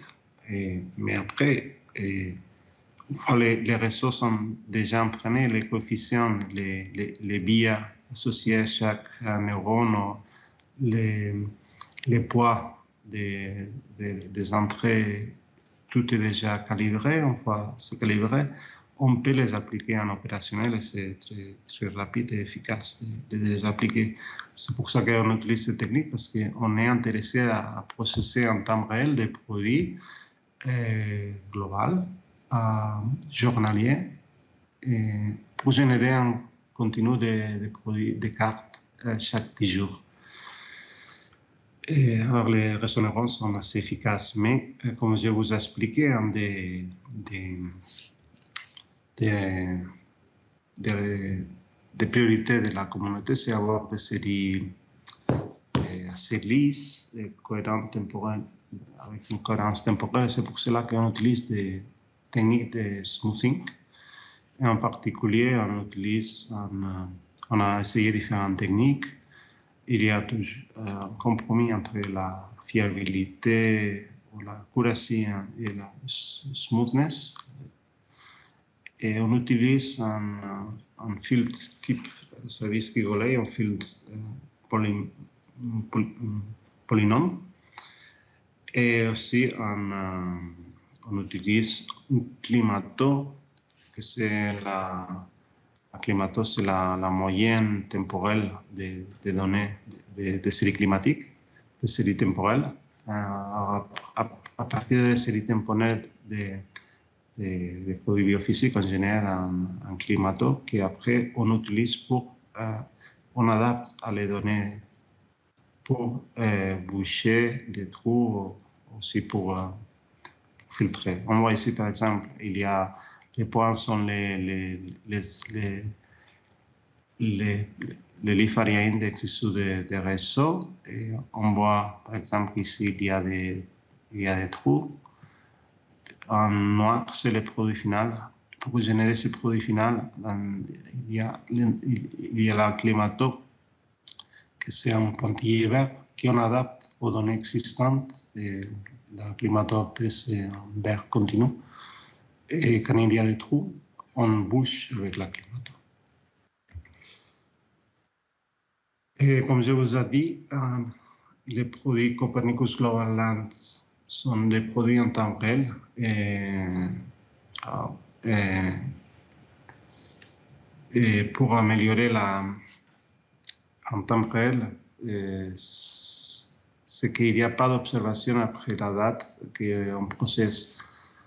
Euh, Ici, c'est on a observation dans le passé, mais il n'y a pas d'observation après la date qu'on on est en train de générer. Et pour améliorer l'estimation finale, ce qu'on fait, c'est qu'on euh, génère des différentes euh, euh, estimations qui, dans une période de consolidation des produits, qui dure euh, 60 jours, chaque décade, on génère les produits précédents.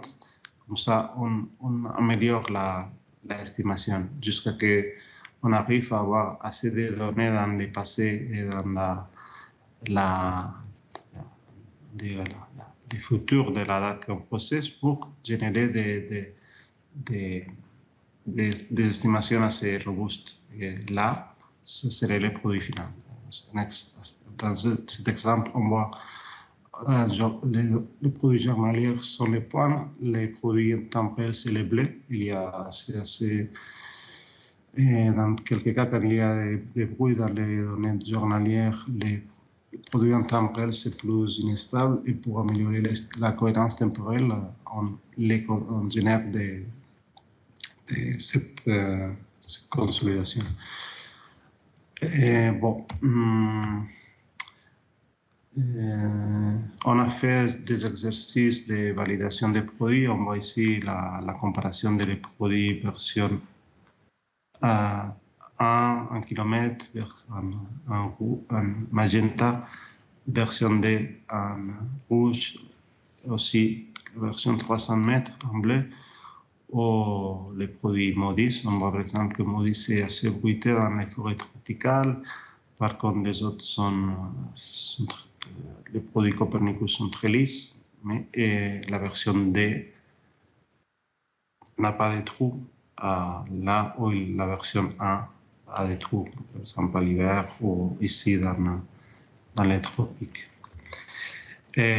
Pour la validation, on utilise une approche euh, bottom-up et euh, on escale des des données genre, euh, in situ qu'après on utilise pour la validation des produits. On fait aussi, une- comme je vous ai dit, une intercomparation entre les, différents produits existants. Ici, par exemple, on, voit la comparaison de Sentinel-3 par rapport à Proa. Et on fait des cartes de différence ou des histogrammes. Et on voit dans ce cas que on a assuré la continuité du service avec Sentinel-3. Ici, par exemple, c'est Sentinel-3, c'est un euh, c'est le produit issu des de, capteurs Olchi en magenta et en cyan. Euh, et euh, Prova, les produits Prova, pour la même période, c'est en, en, orange et on voit qu'il y a un bon et accord entre les deux, ce qui, ce qui veut dire qu'après Prova, on peut continuer à utiliser le produit Sentinel-3. Et on a utilisé le même principe algorithmique pour générer des, séries temporelles plus longues à partir des capteurs AVHR, de générer des séries de plus de 40 ans depuis 1981 dans le cadre des services ou le pôle de surface continentale TEIA. Et je suis responsable aussi de, de, la génération de ces produits. Et les produits sont, comme les produits Copernicus, sont, sont disponibles à, en libre et vous pouvez les télécharger dans, dans ce cas dans, dans, dans le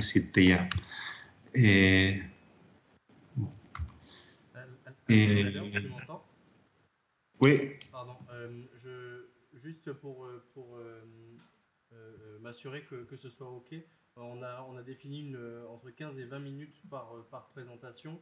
Là, là c'est très très technique, on n'est pas forcément dans un, dans un auditoire ultra technique ou scientifique. Euh, peut-être euh, aller à l'essentiel et puis, euh, et puis partir à la conclusion et, et puis prendre peut-être 5 ou, ou, 10 minutes pour conclure là. En tout cas, aller dans les okay. maximum 10 minutes si ça te va. Ça marche. Parfait, merci. Bon, euh, je m'excuse, je ne connais pas l'auditeur, la, la, je ne connais pas les, les niveaux. Pas, de souci, pas de souci. Et bon, et je passe à l'essentiel. Quelques applications peut-être. On peut utiliser ces séries temporelles pour générer des, des produits phénologiques, par exemple. C'est les, les, dates à lesquelles commence la saison, la sortie des, des feuilles ou, ou, la date pour laquelle on, il y a la sénescence. On a fait ça, on a généré ces produits et on les a comparés avec des des données in situ, par exemple de Phenocam, et on voit un bon accord entre les produits satellites et les produits eh, in situ. On peut utiliser ces produits aussi pour les, les applications en changement global, pour voir les tendances en révertissement de niveau planétaire euh, avec les euh, avec le warming. Et, et on constate un avancement de la, de, de, de, de, la sortie des feuilles ou on constate un délai dans la date de qui finit la station de croissant avec l'augmentation de la température, la, fertilisation.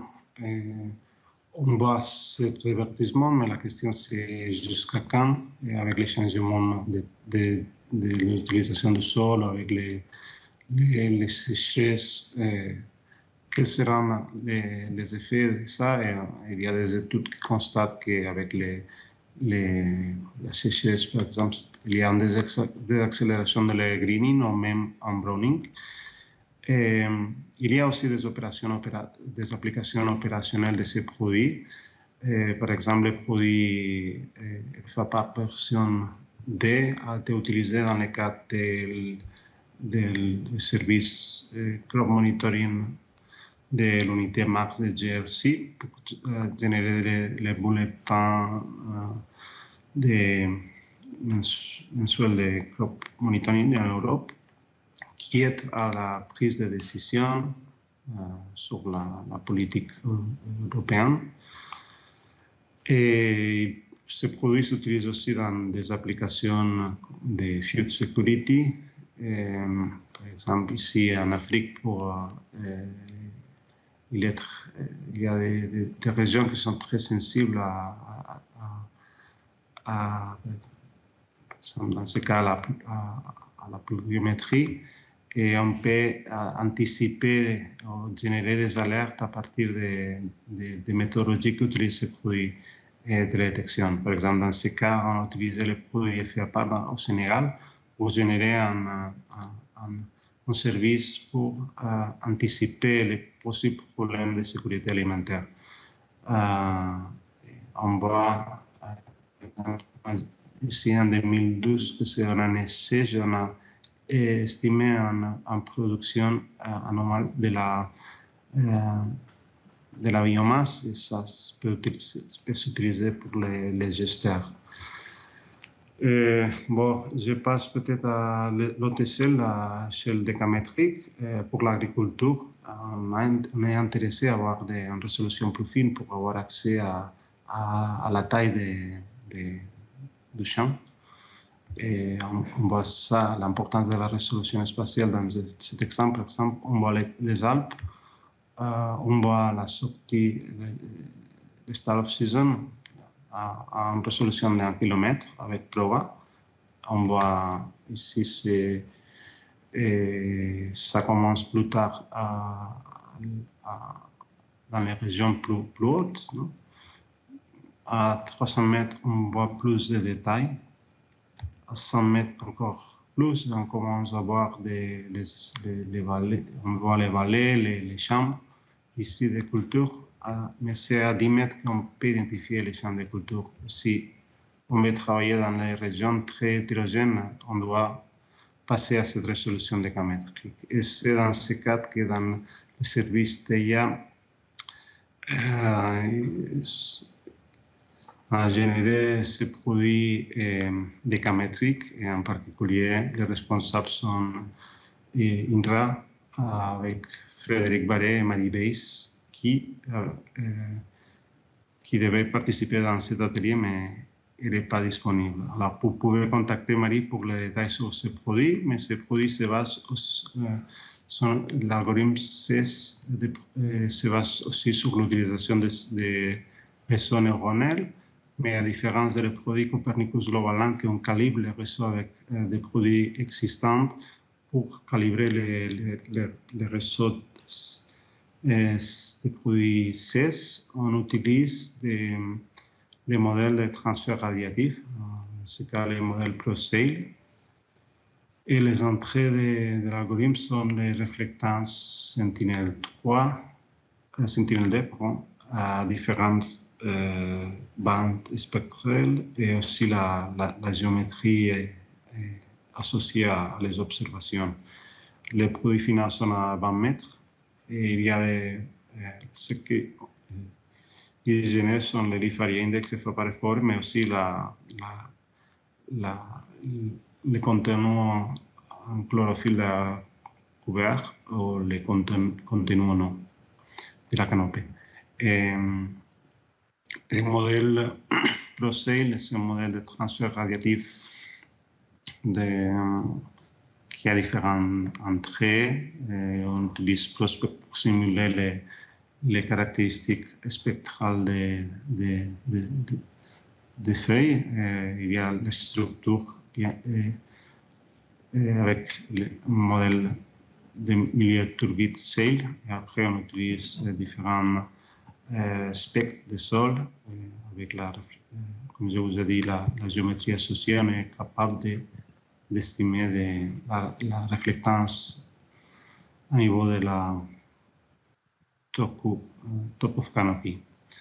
Et l'inversion de ce modèle se fait, comme je vous ai expliqué, avec les, les, réseaux. Et pour calibrer les réseaux, ce qu'on fait, c'est qu'on génère une base d'entraînement très large avec la combinaison de différentes valeurs de ces paramètres de modèle avec différentes distributions. On génère une base très large, calibrer les, les réseaux, qui après on applique. Et, bon, et les de validation de, de ces produits montrent qu'ils sont assez robustes et fiables pour estimer les paramètres biophysiques de, de, la culture. Pour finir,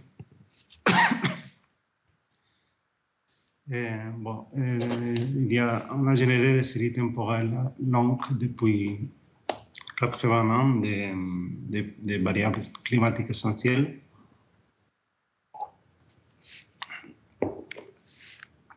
Validé que sont disponibles de manière libre. Et il y a différentes versions. La version D, c'est une amélioration de la continuité par rapport à la version 1. La, 300, la version 300 mètres, c'est une amélioration de la résolution spatiale mais pour quelques applications euh, en agriculture, euh, gestion des ressources, on a besoin d'avoir accès à la solution décamétrique. C'est dans ce cas qu'il y a les, que les produits cessent à, à 20 mètres. Et bon, avec ça, je pense qu'on peut, on peut finir. Excusez-moi si, si, pas dans, si la présentation était trop, trop détaillée. C'est toujours mieux trop que pas assez. Merci beaucoup, Alexander. Pour, le, coup, je, pense qu'on a peut-être perdu certaines personnes de l'auditoire, dont moi, dans des aspects euh, purement techniques. Mais euh, c'est toujours intéressant de, mieux comprendre ce qui est mis en place, les, procédés utilisés, etc. Euh, Est-ce qu'on a des questions pour Alexander dans la salle ou dans l'auditoire?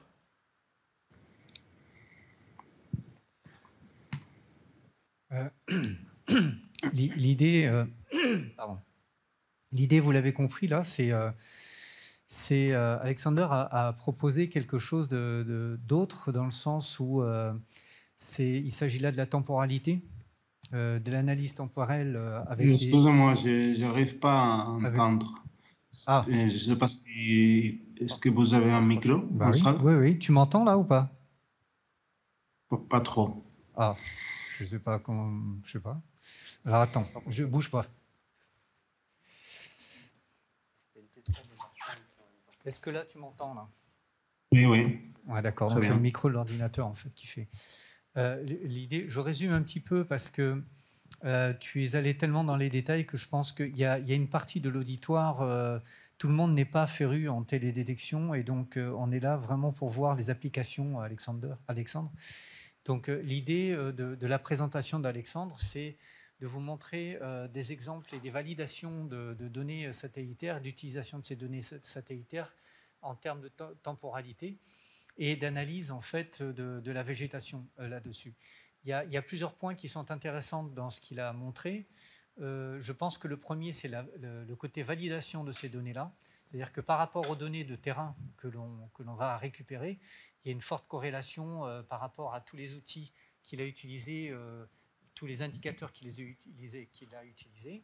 Ça, c'est une chose. La deuxième chose, c'est que ces, indicateurs-là sont applicables à, toutes les données de télédétection à partir du moment où on a les, longueurs spectrales qui vont bien, et en l'occurrence Sentinelle. Donc, c'est quelque chose qui pourrait marcher pour la Calédonie. Et euh, le dernier aspect, euh, c'est que oui, il y euh, y a le CES variable biophysique de TEIA qui génère ces produits déjà, qui existent, qui sont téléchargeables gratuitement. Et donc la personne qui est en charge de ça, qui devait présenter à la place d'Alexandre, c'est Marie Weiss, que vous avez vu, qui, qui été, dont, le, mail a été marqué. Et donc, vous avez déjà ces produits-là qui, qui, existent pour, euh, pour le monde entier. Vous pouvez aussi les télécharger et faire un suivi d'un état de végétation euh, à l'échelle de, de Sentinelle-2, c'est-à-dire euh, à l'échelle d'une décamétrique. Voilà. Il y a une question de Martin. Il y a, il y a une question de Martin. Euh, Moss, toujours, les données de référence terrain sont-elles nécessaires? Alors, c'est après, après, tout en bas. Si, ah, c'est tout en bas.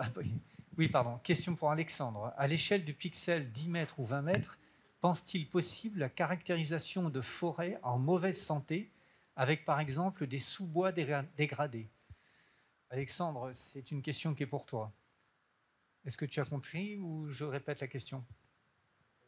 Euh, Oui, euh, il est tout à fait possible, mais euh, les produits ce, que, test que je vous ai présenté, le produit CES, ils sont basés sur un, j'ai expliqué, un, modèle qui a ces hypothèses. Et parmi les hypothèses, c'est que la, structure de la végétation se, se distribue de manière assez homogène, que ce n'est pas le cas de, de forêts. Alors, ce n'est pas les, les modèles utilisés pour générer ces produits, c'est plutôt adapté pour des, des, cultures et pas pour des forêts.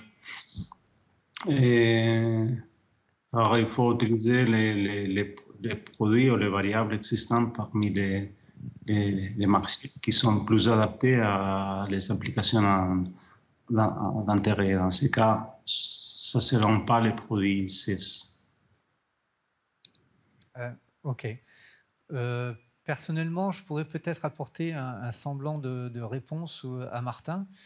Euh, c'est qu'au niveau des forêts, si on prend un aspect ponctuel, il est difficile de, voir euh, une dégradation forestière avec un pixel de 10 ou 20 mètres si on a effectivement un, sous, euh, euh, un, sous-bassement, un sous-bois qui est dégradé. Par contre, ce qui est intéressant, c'est l'aspect temporel. C'est-à-dire qu'une forêt qui se dégrade, temporellement, ça s'observe. Et donc, l'aspect temporel peut pallier à ce genre de, de soucis. Euh, voilà, donc c'est peut-être aussi une, une, une, puissance qu'apporte le côté temporel euh, par rapport au côté euh, spectral ou spatial. Je voulais juste rajouter un point. Merci Alexandre. Il y a différents algorithmes qui prennent en compte cette information temporelle pour voir des dégradations qui sont un changement euh, assez euh, euh, une dégradation ou un changement abrupt. oui. oui. Les différentes techniques pour processer ces séries temporelles et, et, donner des, les effets de la dégradation ou, ou la, ou, ou, simplement la, la, la perte de forêt. Oui, c'est ça. C'est la perte de signal ou le, changement brutal du signal qui va, permettre d'observer quelque chose. Mais ça, c'est l'analyse temporelle. On va, passer à une autre question. Guillaume? Plus qu'une question, c'était juste un commentaire pour dire que ce qui me paraît pas mal dans tout ça, c'est l'utilisation effectivement des séries temporelles, mais ça rejoint un peu ce que tu dis.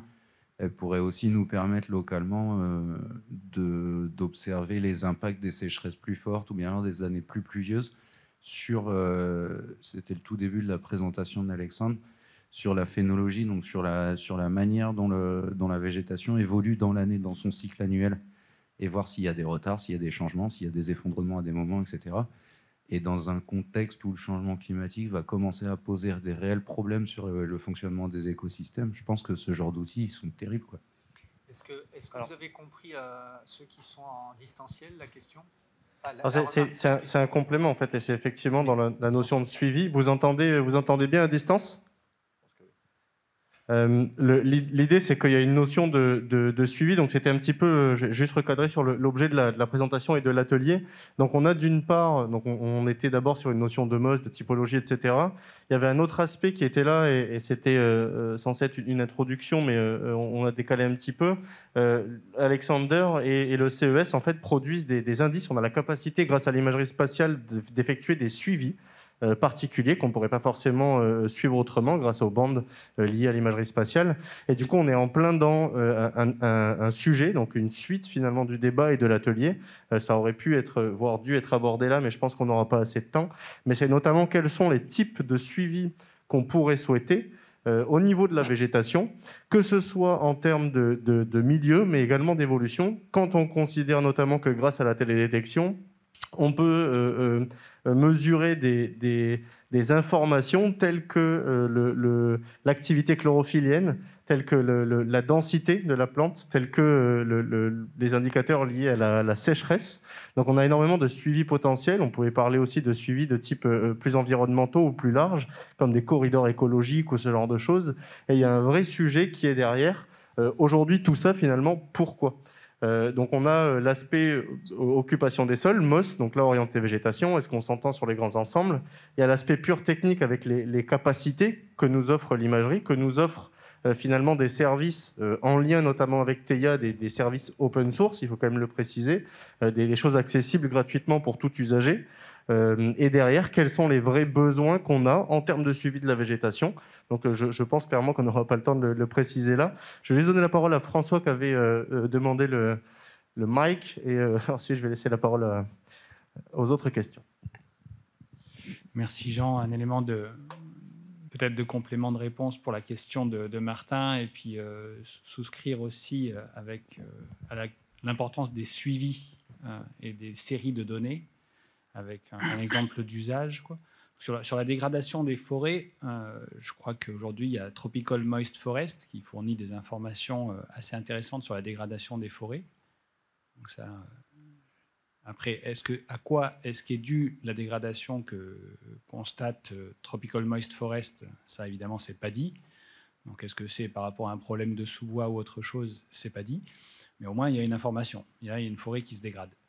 Après, euh, dans le contexte calédonien, par rapport à, la perte de sous-bois et donc au non-renouvellement, régénération des forêts, euh, je constate dans des forêts très dégradées, euh, en lien avec les mécanismes évoqués par Martin, des, effondrements de, vieux arbres et donc des, perforations dans la canopée. Et en, absence de régénération, on se retrouve avec donc des, structures de, de, canopée qui probablement ont une signature qui doit, qui doit s'observer.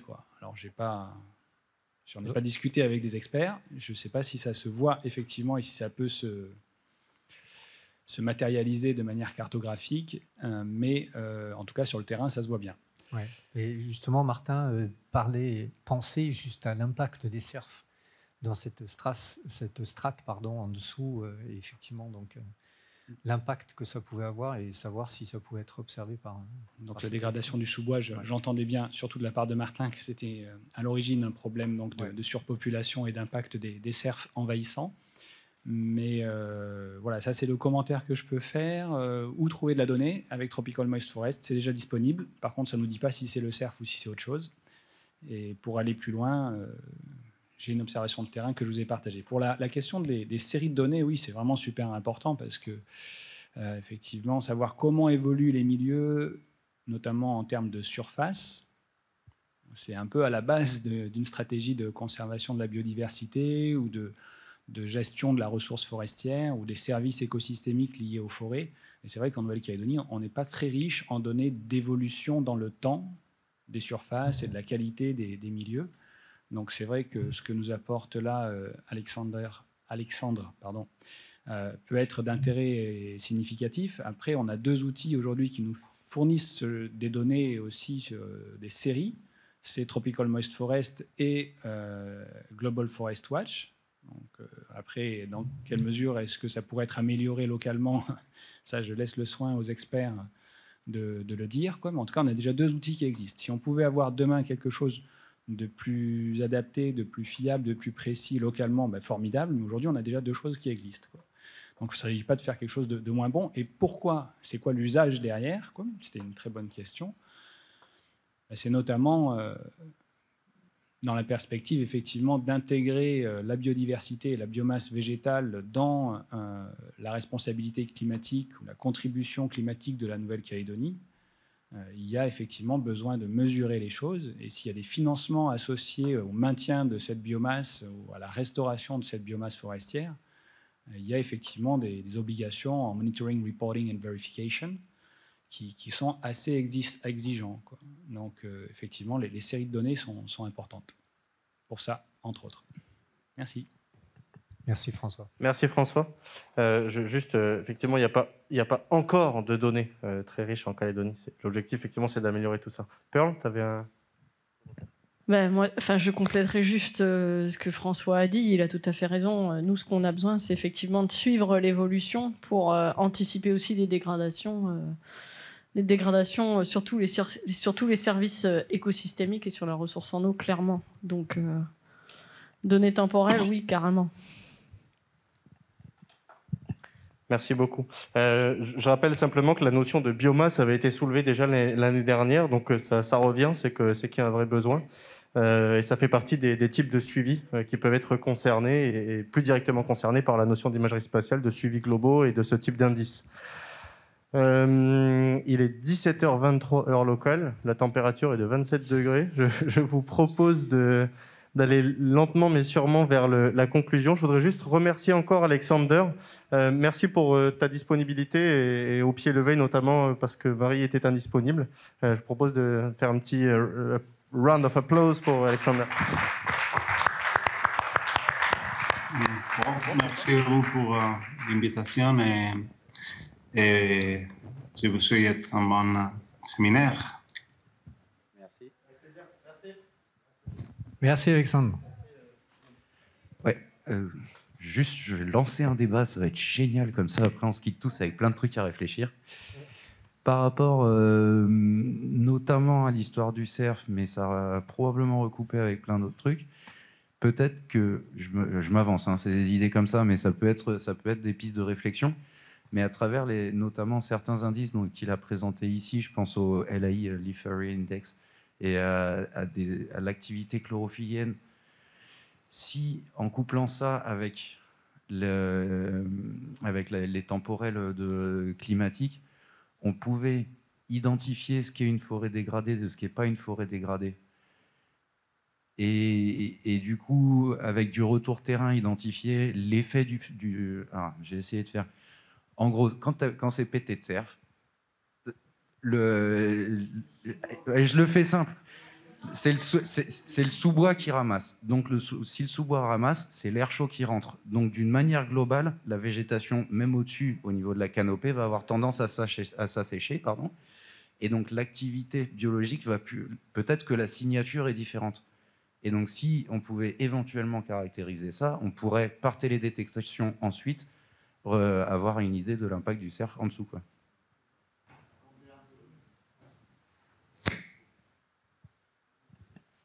Euh, donc on va, euh, on va euh, conclure, conclure lentement mais sûrement, comme je disais juste avant. déjà pour, pour prendre le temps de, de, faire une petite conclusion sur les discussions autour du, du MOS, enfin, de la notion d'occupation des sols orientée végétation. Donc ce que je peux vous proposer, ce qu'on vous propose au niveau de l'ART, c'est de de vous transmettre euh, cette présentation, euh, enfin cette cette typologie, cette nouvelle euh, proposition de typologie qui est en, ligne directe avec l'ensemble des ateliers menés et des mises en, relation des différents besoins des collectivités locales, des bureaux d'études, des, des, différents utilisateurs, avec donc un premier état de définition des classes je vous invite plus que, fortement à nous faire vos retours, à ne pas hésiter à, commenter ce document. Euh, j'insiste surtout sur le fait que l'idée n'est pas de changer toute la typo. Euh, à chaque fois, on pourrait le faire en fonction de, la vision et de l'utilisation ou de la vision orientée presque hein, de chaque utilisateur. Euh, par contre, bien nous mettre en garde sur les risques je vais reprendre un, exemple très très concret sur euh, ce que disait euh, Valérie, il me semble, tout à l'heure, par rapport à la forêt, au fait que la forêt, on, peut, on doit considérer les, zones arborées de mangroves. donc c'est tout aussi important de, nous mettre en garde sur ce type de, risque d'utilisation d'une telle typologie, ce qui va nous permettre finalement de compléter la définition des classes. Donc encore une fois, c'est quelque chose qu'on peut faire apparaître dans une définition des classes, notamment dans la classe forêt, euh, mais également dans la classe palétuvier, en expliquant que cette classe, en fonction du type, etc., peut rentrer euh, dans une considération plus globale. Donc voilà, tous vos retours nous permettront de, de travailler tous ensemble à un produit le plus abouti possible. Ce ne sera jamais parfait, j'insiste encore et encore dessus. Euh, ça ne répondra jamais à, tous les besoins, ça ne répondra jamais parfaitement à un besoin, mais ça répondra autant que possible à un maximum de besoins.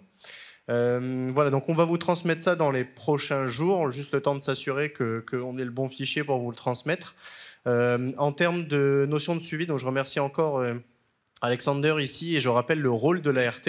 le rôle de l'ART, c'est de créer, de, renforcer ce lien avec des, réseaux, un réseau, le réseau TEIA euh, et le réseau DataTerra, euh, qui existent, qui produit déjà, qui, délivrent gratuitement des produits et services qui a déjà fait énormément, énormément de, travaux de, de R&D, de recherche, avec des produits qui sont validés, potentiellement applicables.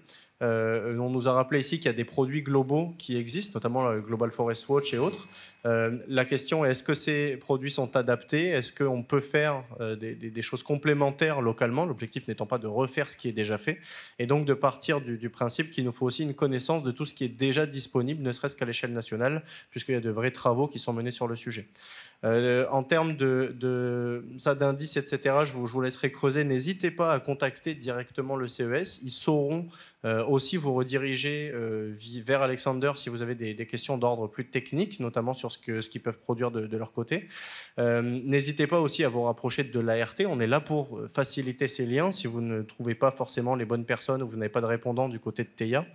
Euh, et euh, enfin, pour euh, ce qui est des suivis, ce qu'on peut peut-être proposer, c'est une, centralisation. Alors, on ne va pas refaire un Google Form, mais, mais on peut peut-être vous proposer de, de, centraliser ces besoins. alors, il n'y a rien de, confidentiel. L'idée, encore une fois, c'est le partage. On parlait de, Talanoa, d'espace ouvert dans, dans, ce milieu, dans ces ateliers. Euh, j'insiste sur le fait que ce n'est pas cantonné à ces ateliers, il faut continuer à l'extérieur, les actions sont importantes et le suivi de ces actions aussi. Donc ce qu'on peut faire, nous, c'est centraliser les différents besoins de, suivi, euh, les partager, puisque c'est en les partageant qu'on va trouver finalement des intérêts communs, qu'on va continuer dans la notion de, priorisation, de mutualisation et qu'on va avancer sur des sujets d'ordre prioritaire. Donc voilà les suivis, qu'ils soient en termes de, couverture d'espace, etc., en termes d'évolution euh, dans le temps, en termes d'évolution euh, des, différents, des différents volets, hein, que ce soit la biomasse, que ce soit l'activité chlorophyllienne avec euh, des notions, donc on le disait, de, cycle phénologique, donc déjà de changement ou d'adaptation des cycles au fil des années, changement climatique, tout est un peu lié. Et c'est finalement en partageant qu'on va réussir à, relier nos besoins et nos moyens pour répondre à un maximum euh, d'utilisation euh, souhaitée. Euh, c'était un peu le, mot de la fin me concernant. Je ne sais pas s'il y a des, commentaires particuliers à distance. Je pense qu'on a répondu aussi à la question finalement de, Pascal tout à l'heure qui demandait un peu la temporalité. Euh, n'hésitez pas encore une fois à revenir vers nous s'il y a des choses que vous n'avez pas compris ou autres. On mettra les différentes présentations à disposition. Euh, Marc, si tu veux dire peut-être un, petit mot. Ouais, tu, tu close the, session. Oui. Euh, peut-être rappeler le, site demain. Je te laisse faire. voilà. Parfait. Merci, merci de mon côté. Ah, oui. Quand l'échéance pour le MOS alors là, on n'est pas dans l'atelier MOS, mais dans l'atelier végétation appliqué au MOS. Donc on est uniquement sur le pendant végétation d'un MOS à échelle territoriale pas encore validé. Donc en fait, euh, une fois l'objectif, hein, je le rappelle de la démarche globale, c'est une fois qu'on a une typologie nous arrêtée au niveau euh, global. quand je dis arrêté, c'est a priori on va dans le bon sens et on est tous à peu près d'accord sur tout ça. Euh, là, de leur côté, par exemple, les communes peuvent travailler sur un niveau 4 euh, en ayant une notion de, typologie référent, référente, de référence pardon, euh, à un niveau plus global, donc à des échelles différentes. Mais euh, libre à chacun de travailler, l'idée étant de savoir ce qui se fait à un niveau global, ou ce qui est visé en tout cas. Mais nous, de notre côté, du côté de l'ART, on n'a pas prévu de s'y pencher tant qu'on n'aura pas clairement avancé sur les niveaux 1, 2 et 3. Oui, alors il n'y a pas de. Oui, tout à fait. Alors, on est toujours preneur, et, effectivement, merci, merci Pearl. On est toujours preneur des forces vives. Euh, je le répète, c'est du, 100% non financé. Euh, appelez ça comme vous voulez. Euh, pour le coup, c'est quelque chose qui nous tient à cœur aussi. C'est de l'investissement communautaire. C'est nécessaire pour de l'amélioration des procédés d'un point de vue scientifique. C'est nécessaire pour la pérennité du développement économique d'un point de vue industriel. Euh, c'est aussi nécessaire pour euh, euh, avoir attrait à finalement des produits de qualité et au meilleur prix possible d'un point de vue gestionnaire du territoire. Donc toutes ces initiatives sont absolument gagnant, gagnant, gagnant dans les tripartites que j'ai citées. Rejoignez, rejoignez le mouvement, ça fait un peu propagande politique, mais aujourd'hui on, cherche des forces vives, on peut rien faire tout seul et on ne peut rien faire sans forces vives qui animent et qui tirent un petit peu ces débats et, ces animations. Donc euh, merci à tous d'être présents. C'est la première étape de participation, participation euh, présentielle puis participation active. Euh, et n'hésitez pas si vous avez des, sujets particuliers à porter. On serait grand fan de vous aider, encore une fois, à mener des, réunions par rapport à des sujets que vous maîtrisez bien mieux que nous. Euh, on n'est pas là pour, pour tout faire et répondre à tout, on est là pour faire en sorte qu'on on ait un travail communautaire et collégial qui se mette en place et une pérennité des actions.